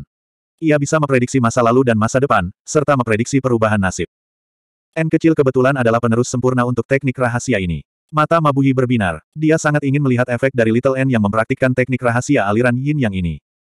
Li Qingshan berkata, N kecil adalah murid agama Buddha. Ini mungkin bukan sesuatu yang bisa kita putuskan. Mabuhi berkata, saya sudah mendiskusikannya dengan guru satu pikiran. Dia setuju. Bukankah keduanya berbenturan? Li Qingshan agak terkejut. Dia tidak pernah mengira guru satu pikiran akan begitu murah hati, rela membiarkan murid utamanya menghabiskan waktu dan tenaga untuk teknik kultivasi lainnya. Kamu tidak tahu, ada banyak perbedaan antara teknik budidaya kuno dan teknik budidaya modern. Khususnya, teknik ini benar-benar berbeda dari metode budidaya Buddha, sehingga tidak bertentangan dengan teknik penaklukan iblis Raja Penjaga. Tetapi kecepatan kultivasinya pasti akan melambat. Li Qingshan segera melihat inti masalahnya. Ini juga merupakan alasan mengapa guru satu pikiran menyetujui permintaan Mabui. Kecepatan kultivasi Little N terlalu cepat, yang membuatnya agak takut karena suatu alasan. Dia jelas tidak memahami keinginan besar yang dibuat di jalan tulang putih dan keindahan luar biasa. Ini hanyalah naluri seorang biksu. Itu benar, tapi menurutku itu sepadan. Sebagai seorang ahli meridian surgawi, N kecil mungkin dapat berkembang dengan lancar sebagai praktisi ki tanpa hambatan apa pun, tetapi begitu dia mencapai yayasan pendirian, keuntungan ini tidak akan ada lagi. Setiap langkah semakin jauh menjadi semakin sulit, jadi fondasinya akan menjadi sangat penting. Mengapa dia tidak menggunakan periode keuntungan ini untuk membuat fondasinya menjadi lebih stabil? Li Qingshan menganggapnya masuk akal. Dia bertanya pada Little N, bagaimana menurutmu? N kecil menundukkan kepalanya sambil berpikir sejenak seperti orang dewasa. Dia melirik Li Qingshan dan mengangguk setuju.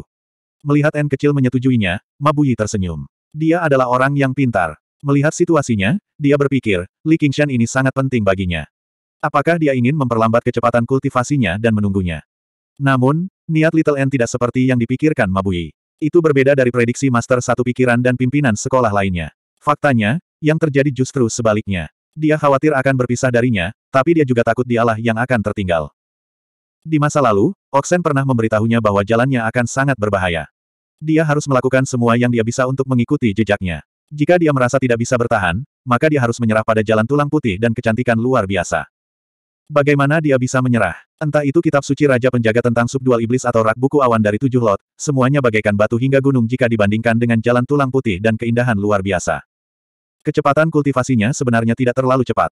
Dibandingkan dengan Li Qingshan yang telah berubah menjadi Dasmon, budidayanya masih sedikit pucat jika dibandingkan. Ini karena jalan tulang putih dan kecantikan luar biasa terlalu mendalam. Bahkan dengan bakat pemahamannya, setiap langkah maju sangatlah sulit baginya. Namun, dia menggunakan jalan tulang putih dan kecantikan luar biasa sebagai landasan dan mengambil wujud manusia, itulah sebabnya dia mampu mencapai keajaiban mencapai lapisan keenam dalam satu siang dan malam. Tubuh yang terkondensasi dari jalan tulang putih dan keindahan luar biasa ini mungkin merupakan keajaiban meridian surgawi yang menakjubkan di mulut orang lain, tetapi baginya, itu hanyalah ilusi, pantulan bulan di dalam air. Dibandingkan dengan Li Qingshan, yang mempraktikkan jalur manusia dan daemon, dia tampak seperti memiliki dua wajah, tetapi sebenarnya dia hanya memiliki satu jalur, yaitu jalan tulang putih dan kecantikan luar biasa. Jelas sekali, dia bisa mengesampingkan jalan ini. Dia hanya mempraktikkan kitab suci subdual iblis Raja Penjaga. Dengan efek awal dari kemampuan ini, dia dapat mengolahnya menjadi yayasan pendirian. Tidak akan sulit baginya untuk naik lebih tinggi lagi. Namun, Persyaratan jalan tulang putih dan kecantikan luar biasa tidak hanya terletak pada bakat dan pemahaman, tetapi juga pada kemauan dan ketabahan mental. Sekali mengejar penampakan warna merah terang, ini akan melampaui pentingnya sifat tulang putih dan Dharma Buddha. Ini akan melampaui metode budidaya itu sendiri. Pada saat itu, jika dia ingin kembali dan mempraktikkan teknik ini, kesulitan kultivasinya akan meningkat pesat. Setidaknya, di dunia ini, tidak ada seorang pun yang mampu mengatasi kendala ini. Bahkan dengan bakat pemahaman Little N, dia tidak akan bisa membuka kembali pintu yang tertutup ini. Dia masih harus menemani Li Qingshan melampaui sembilan surga. Bagaimana dia bisa menyerah pada gunung besar demi sebuah kerikil? Di Ice Sword Cliff, dia secara pribadi menyaksikan langsung serangan Oxen.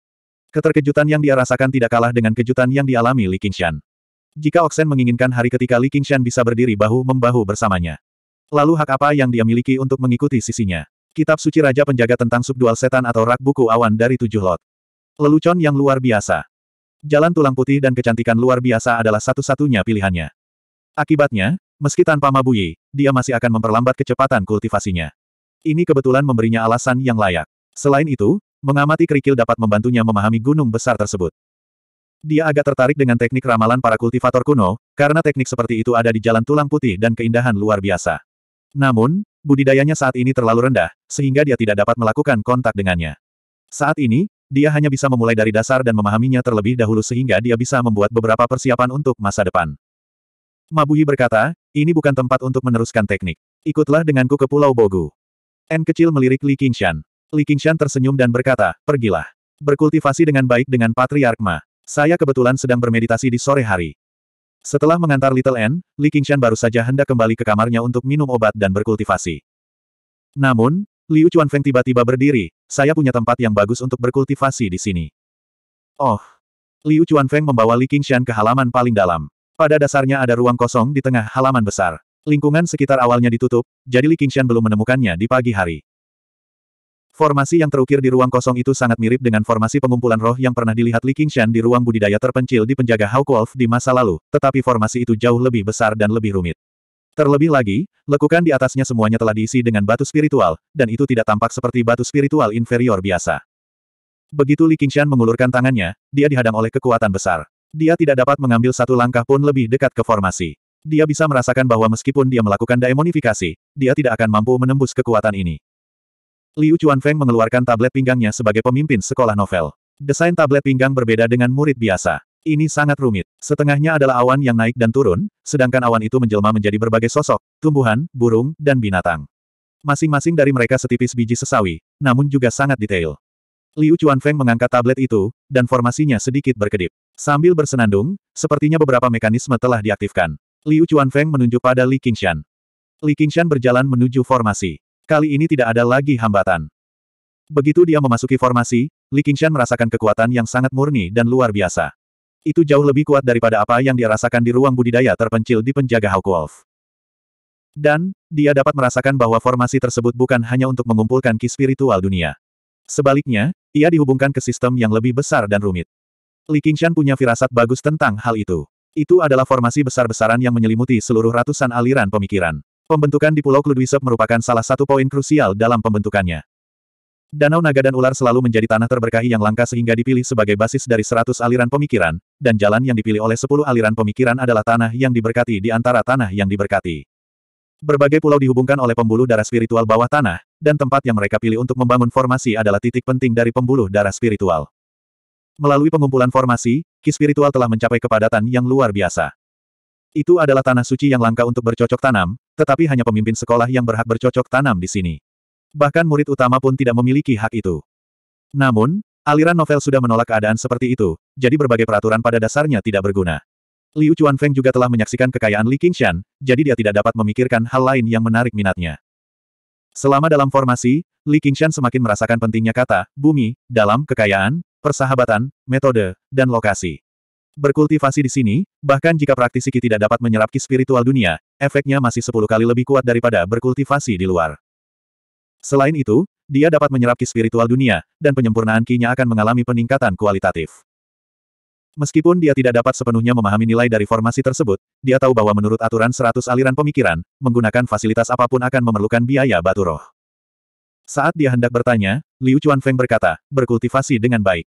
Dia berbalik dan pergi. Dia ingin menggunakan kemabukannya untuk mengungkapkan kebenaran dan menggerakkan Li Qingshan, tetapi dia tidak menyangka hal itu akan memiliki efek sebaliknya. Li Qingshan berkecil hati dan tidak lagi memiliki harapan. Sungguh sia-sia bagi orang seperti itu untuk mengembangkan teknik aliran novel. Melihat punggung Liu Chuanfeng yang agak kesepian, Li Qingshan berkata, tunggu. Liu Chuanfeng berbalik, dan Li Qingshan berkata dengan tulus, terima kasih. Liu Chuanfeng memaksakan senyum dan berkata, sama-sama. Kamu satu-satunya murid sekolah novel. Tapi aku minta maaf. Li Qingshan sangat jelas tentang rasa terima kasih dan dendam. Dia pasti akan memikirkan cara untuk membayarnya kembali, tetapi dia tidak bisa menyia-nyiakan waktunya yang berharga untuk mengembangkan teknik tanpa masa depan untuk membayarnya kembali.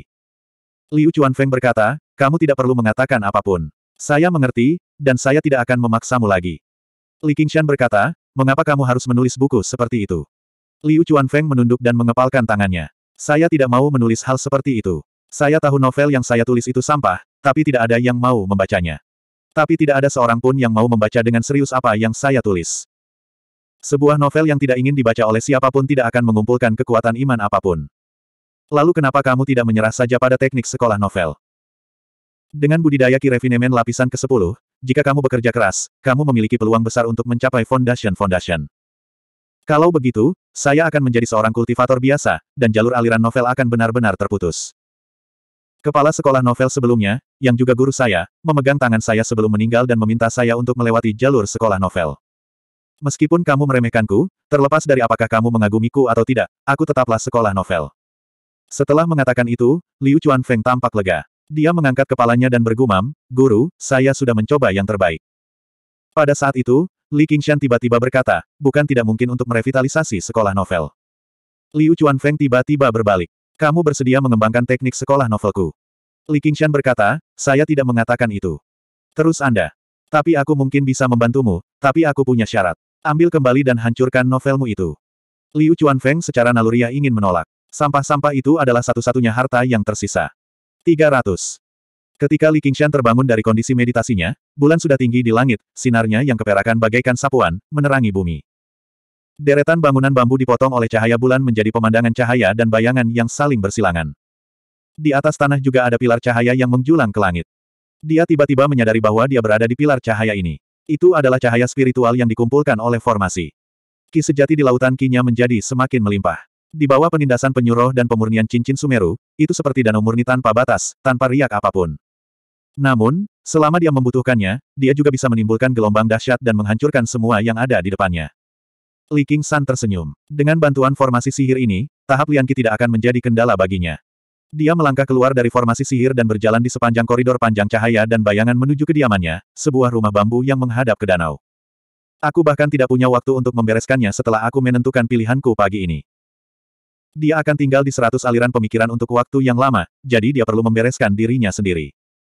Cahaya berkelap-kelip di keranjang bambu, dan suara samar terdengar. Li Qingshan tersenyum dan membuka pintu. Liu Chuanfeng dan Sun Fubai, yang duduk berhadapan, menoleh bersamaan. King Shan. Li Qingshan berjalan ke meja, duduk bersila, dan dengan tenang bertanya, sudahkah kamu memutuskan? Saya sudah memutuskan. Mata Liu Chuanfeng merah seperti baru saja menangis. Menyetujui apa yang dikatakan Li Qingshan sama dengan menyangkal semua upayanya di masa lalu. Itu juga berarti bahwa karakter yang dia ciptakan akan meninggalkannya selamanya, tidak akan pernah muncul lagi di dunia ini. Meskipun mereka palsu dan tak bernyawa, mereka telah menemaninya melewati siang dan malam yang tak terhitung jumlahnya. Jika bukan karena nasihat Sun Fubai, dia tidak akan bisa membuat keputusan seperti itu dalam waktu sesingkat itu. Sun Fubai berkata, kami akan menunggu Fajar. Saya akan memerintahkan anak buah saya untuk mengingat dan menghancurkan novel-novel itu. Li Qingshan berkata, itu tidak perlu. Biarkan memudar secara alami. Hah, mata Liu Chuan Feng membelalak. Li Qingshan berkata, yang aku butuhkan hanyalah tekad. Aku benci orang yang tidak mau mengorbankan apa pun dan hanya ingin duduk diam dan menunggu orang lain menyelamatkan mereka. Untungnya, kamu bukan salah satu dari mereka. Liu Chuanfeng merasa seolah-olah dia telah diselamatkan dari pintu kematian. Dia meraih tangan Li Qingshan dan mengucapkan terima kasih yang sebesar-besarnya. Saat dia sudah tenang, Li Qingshan berkata, kalau begitu, mari kita mulai. Bagaimana kita memulainya? Liu Chuanfeng dan Sun Fubai saling berpandangan. Li Qingshan mengangkat bahunya. Tentu saja untuk mengajariku teknik aliran novel. Kamu, kamu mau belajar? Liu Chuanfeng bertanya dengan tidak percaya. Sikap Li Qingshan pada awalnya cukup tegas. Belum tentu. Aku harus memahaminya dulu, tapi mungkin aku akan mempelajarinya. Aku bukan penyelamat. Aku tidak mungkin tidak memahami aliran novel. Saya akan menyelamatkan sekolah novel, kata Li Qingshan tanpa basa-basi. Prinsipnya adalah melakukannya sampai akhir. Wajah Liu Chuanfeng penuh kegembiraan, tapi hati Sun Fubai dipenuhi kekhawatiran. Mungkinkah menghidupkan kembali tubuh yang membusuk ini dengan menyuntikkan darah segar dan kuat ke dalamnya? Atau akankah darah ini terbuang percuma? Namun bagaimanapun juga, aliran novel yang sempat mengalami stagnasi selama bertahun-tahun, mulai bergerak maju kembali. Kakak senior, beritahu saya. Sun Fubei berdeham dan memulai pelajaran. Teknik aliran novel tidak sulit untuk dikembangkan. Mereka bahkan tidak perlu mengembangkan teknik lain. Mereka hanya perlu menggunakan teknik kondensasi air gui sebagai fondasinya. Mereka hanya perlu memadatkan jimat dewa di tubuh mereka. Jimat ilahi adalah sejenis jimat spiritual. Tapi mereka berbeda dari jimat spiritual biasa. Jimat spiritual adalah dokumen langit dan bumi. Penggarap dapat menggunakannya untuk berkomunikasi dengan langit dan bumi, tetapi jimat dewa dapat berkomunikasi dengan kekuatan khusus lainnya. Itu adalah kekuatan iman yang datang dari hati makhluk hidup. Penggarap yang memiliki jimat dewa akan dapat hidup di dunia fana. Manusia percaya bahwa ini adalah karakteristik para dewa. Nama jimat ilahi itu adalah jimat ciptaan agung. Di masa lalu, seorang kultivator kuno telah meniru bentuk memutar dari vena roh bawah tanah. Itu adalah bentuk embrio dari Talisman of Great Creation. Langkah pertama bagi murid sekolah novel adalah menyingkat jimat dewa ini. Ini tidak sulit bagi Li Qingshan. Dia memperkirakan dia akan mampu melakukannya paling lama dalam 10 hari. Atribut pelindung air memainkan peran penting. Tapi ini adalah langkah paling sederhana bagi murid sekolah novel. Mengumpulkan kekuatan iman untuk memperkuat jimat ilahi ini adalah langkah tersulit. Tidak mudah menulis novel yang bisa menjadi legenda. Namun dalam kehidupan Li Qingshan sebelumnya, dia secara pribadi telah melihat banyak orang melakukannya. Dia secara pribadi telah menyaksikan lahirnya banyak karakter legendaris. Jika jimat ilahi ciptaan agung ada di dunia itu, mereka pasti akan muncul hidup-hidup di dunia ini. Jadi apa yang akan dia lakukan sekarang? Temukan salah satu buku dan salin. Melihat Li Qingshan bersedia mempelajari metode aliran novel dan tidak perlu menghancurkan novelnya sendiri, Liu Chuanfeng mendapatkan kembali semangatnya dan berkata dengan bangga, meskipun kamu meremehkanku, sungguh tidak mudah untuk menulis A novel. Jika kamu menulisnya sendiri, kamu mungkin tidak bisa membandingkannya denganku. Li Qingshan setuju dengannya. Dia bukan tipe orang yang duduk dan menulis novel. Mengesampingkan fakta bahwa dia tidak bisa mengingat begitu banyak kata di kehidupan sebelumnya, bahkan jika dia bisa, apakah dia bisa mengubah segalanya? Kisah-kisah yang syarat dengan selera modern itu mungkin tidak sesuai dengan pola pikir masyarakat zaman ini. Pada akhirnya, mereka hanya akan diperlakukan sebagai impian orang gila. Bahkan jika dia benar-benar bisa menyalin novel legendaris, berapa tahun yang dibutuhkan untuk mengumpulkannya? Bahkan jika dia berhasil pada akhirnya, itu hanya masalahnya. Itu tidak akan dianggap sebagai penyelamatan sekolah novel. Sun Fubai juga memikirkan masalah ini. Dia menghela nafas dengan sedikit khawatir. Ini tidak mudah. Li Qingshan berkata dengan percaya diri, saya pikir kalian salah tentang masalah yang paling penting. Apa? Entah itu novel atau jimat dewa, semuanya hanyalah peluang. Yang terpenting adalah medianya. Apa maksudmu dengan medium? Istilah baru ini membuat Sun Fubai dan Liu Chuanfeng agak bingung. Li Qingshan menjelaskan sedikit, itulah yang disebut saluran penyebaran. Bahkan jika Anda menulis novel yang indah, tidak ada gunanya jika tidak ada yang membacanya. Liu Chuanfeng berkata dengan tidak setuju, jika Anda berpikir itulah masalahnya, maka Anda terlalu meremehkan kami. Baru pada saat itulah Li Qingshan mengetahui bahwa Sun Fubei memiliki bisnis yang sangat besar di dunia fana. Di prefektur Clear River, semua toko buku besar berada di bawah namanya. Semuanya atas nama dia. Selama Liu Chuanfeng menulisnya, betapapun tak tertahankannya isinya, mesin cetak keluargamu akan mampu mencetaknya dalam jumlah besar dan menempatkannya di toko buku di seluruh negeri. Setiap salinan buku itu murah dan bahkan dapat diberikan secara gratis. Semuanya sia-sia. Li Qingshan tersenyum. Apakah itu semuanya? Apalagi, kata Liu Chuanfeng. Li Qingshan berkata, saya lahir di sebuah desa pegunungan kecil. Tidak ada satupun toko buku di sana, dan saya belum pernah melihat satu buku pun selama lebih dari satu dekade. Anda dapat menghitung jumlah orang yang melek huruf di sana dengan satu tangan. Terus, Liu Chuan Feng bingung. Wajar jika orang bodoh dari desa pegunungan menjadi buta huruf. Orang-orang itu bahkan memandang rendah para cendikiawan di antara manusia, apalagi para pejuang Qi yang perkasa. Namun, Sun Fubai sepertinya memahami sesuatu. Li Qingshan menambahkan, Anda tadi menyebutkan bahwa pejabat sekolah konfusianisme yang mengawasi suatu wilayah akan memadatkan jimat dewa di tubuh mereka, bukan? Iya, jimat ilahi disebut jimat kebajikan agung. Ini sebenarnya jimat kebajikan asli dari aliran Taoisme. Kebajikan adalah istilah yang sangat penting bagi para kultivator kuno. Kesulitan dalam budidaya sangat besar, dan daemon serta monster merupakan ancaman besar. Hal ini memaksa mereka untuk menggunakan semua kekuatan yang mereka bisa. Kedua jenis jimat ilahi ini menggunakan dua kekuatan yang sangat berbeda di hati manusia. Yang satu adalah iman, dan yang lainnya adalah rasa syukur. Setelah para penggarap kuno melakukan perbuatan baik, sering kali ada rakyat jelata yang bersedia mendirikan tablet umur panjang dan memuja dermawan mereka siang dan malam. Meskipun talisman of virtue tidak bisa mengubah palsu menjadi nyata seperti talisman of great creation, itu bisa mengubah ilusi menjadi kenyataan. Namun, hal itu berdampak mengubah kemalangan menjadi keberuntungan.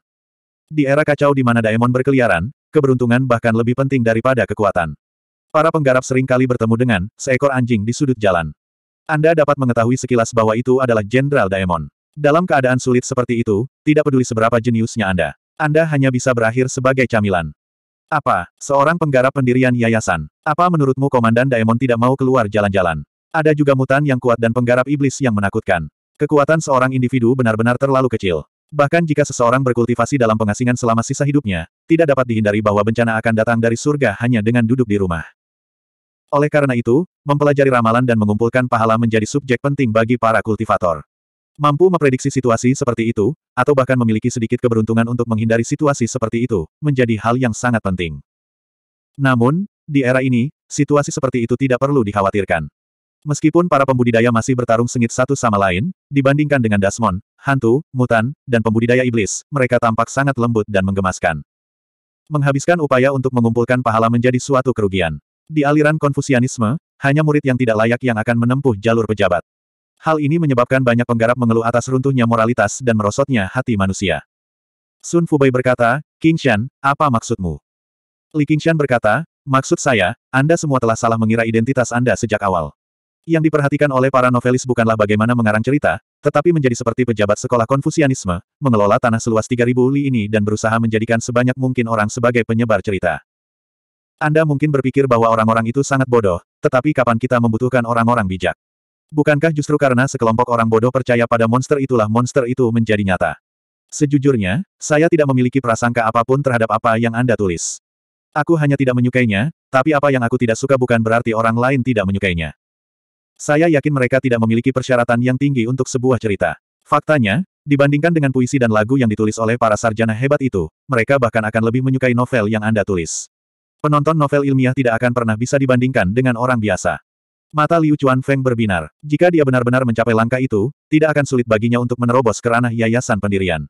Namun kemudian dia berkata dengan sedih, tetapi mereka tidak bisa membaca. Pesan Paviliun Laut. Dia tidak mungkin menghabiskan waktu beberapa tahun untuk mengajari seorang petani tua cara membaca, bukan? Ini hanyalah rencana dan strategi jangka panjang. Jika kita tidak bisa mengajari para petani tua membaca, mengapa kita tidak bisa mengajari anak-anak? Kami tidak kekurangan uang, sehingga kami dapat mendirikan ratusan atau ribuan sekolah swasta Hop dan mengajar anak-anak membaca secara gratis. Cepat atau lambat, mereka akan menjadi landasan para novelis. Sun Fubai juga tercengang dengan rencana Li Qingshan. Penglihatan seperti ini benar-benar melampaui imajinasi mereka. Bahkan sekolah konfusianisme, yang menekankan pendidikan tanpa diskriminasi dan berkah, tidak akan berpikir untuk mendirikan sekolah swasta harapan. Akan lebih baik jika mereka tidak tahu cara membaca selama sisa hidup mereka dan hidup damai sebagai orang biasa. Namun rencana ini sepertinya masuk akal. Mereka selalu memikirkan cara menulis novel yang mengharukan, namun tidak memikirkan cara membina pembaca, terutama dari anak-anak petani yang paling rendah dan bodoh ini. Mungkin karena dia berasal dari desa pegunungan sehingga dia bisa memikirkan hal ini. Gagasan tentang sekolah swasta Hop terlalu bagus. Mereka bahkan bisa menggunakan novel sebagai bahan bacaan inisiasi. Tentu saja, mereka tidak bisa menggunakan jenis seperti milik Liu Chuanfeng. Jadi inilah alasan mengapa dia bertekad agar Liu Chuanfeng menghancurkan buku-buku itu. Itu seperti seberkas cahaya telah menyala di hadapan mereka, dan ketika mereka memikirkannya, mercusuar cahaya itu segera menjadi matahari. Li Qingshan memberi mereka waktu untuk mencernanya sebelum melanjutkan, jika Anda melihat lebih dekat, bukan hanya kata-kata yang dapat menyebarkan cerita. Di zamannya, masih belum banyak orang yang mau duduk dan membaca, namun melalui berbagai media, lebih banyak, dewa, yang diciptakan dalam 20 tahun terakhir dibandingkan 2000 tahun terakhir. Alur pemikiran Sun Fubai sudah jelas. Maksud Anda, kami membutuhkan pendongeng, penyanyi, aktor, dan semua orang yang bisa menyebarkan cerita untuk kami. Setelah itu, kami akan menyatukan mereka dan mendirikan sebuah-sebuah asosiasi. Kami akan menyebutnya Asosiasi Kludwisep.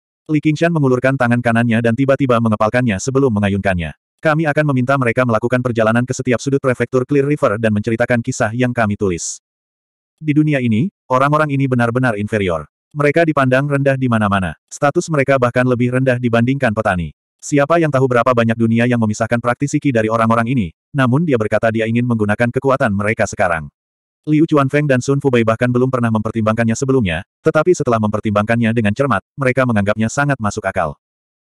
Awalnya, ketika Li Qingshan mengatakan dia bisa menyelamatkan sekolah novel, mereka tidak sepenuhnya mempercayainya.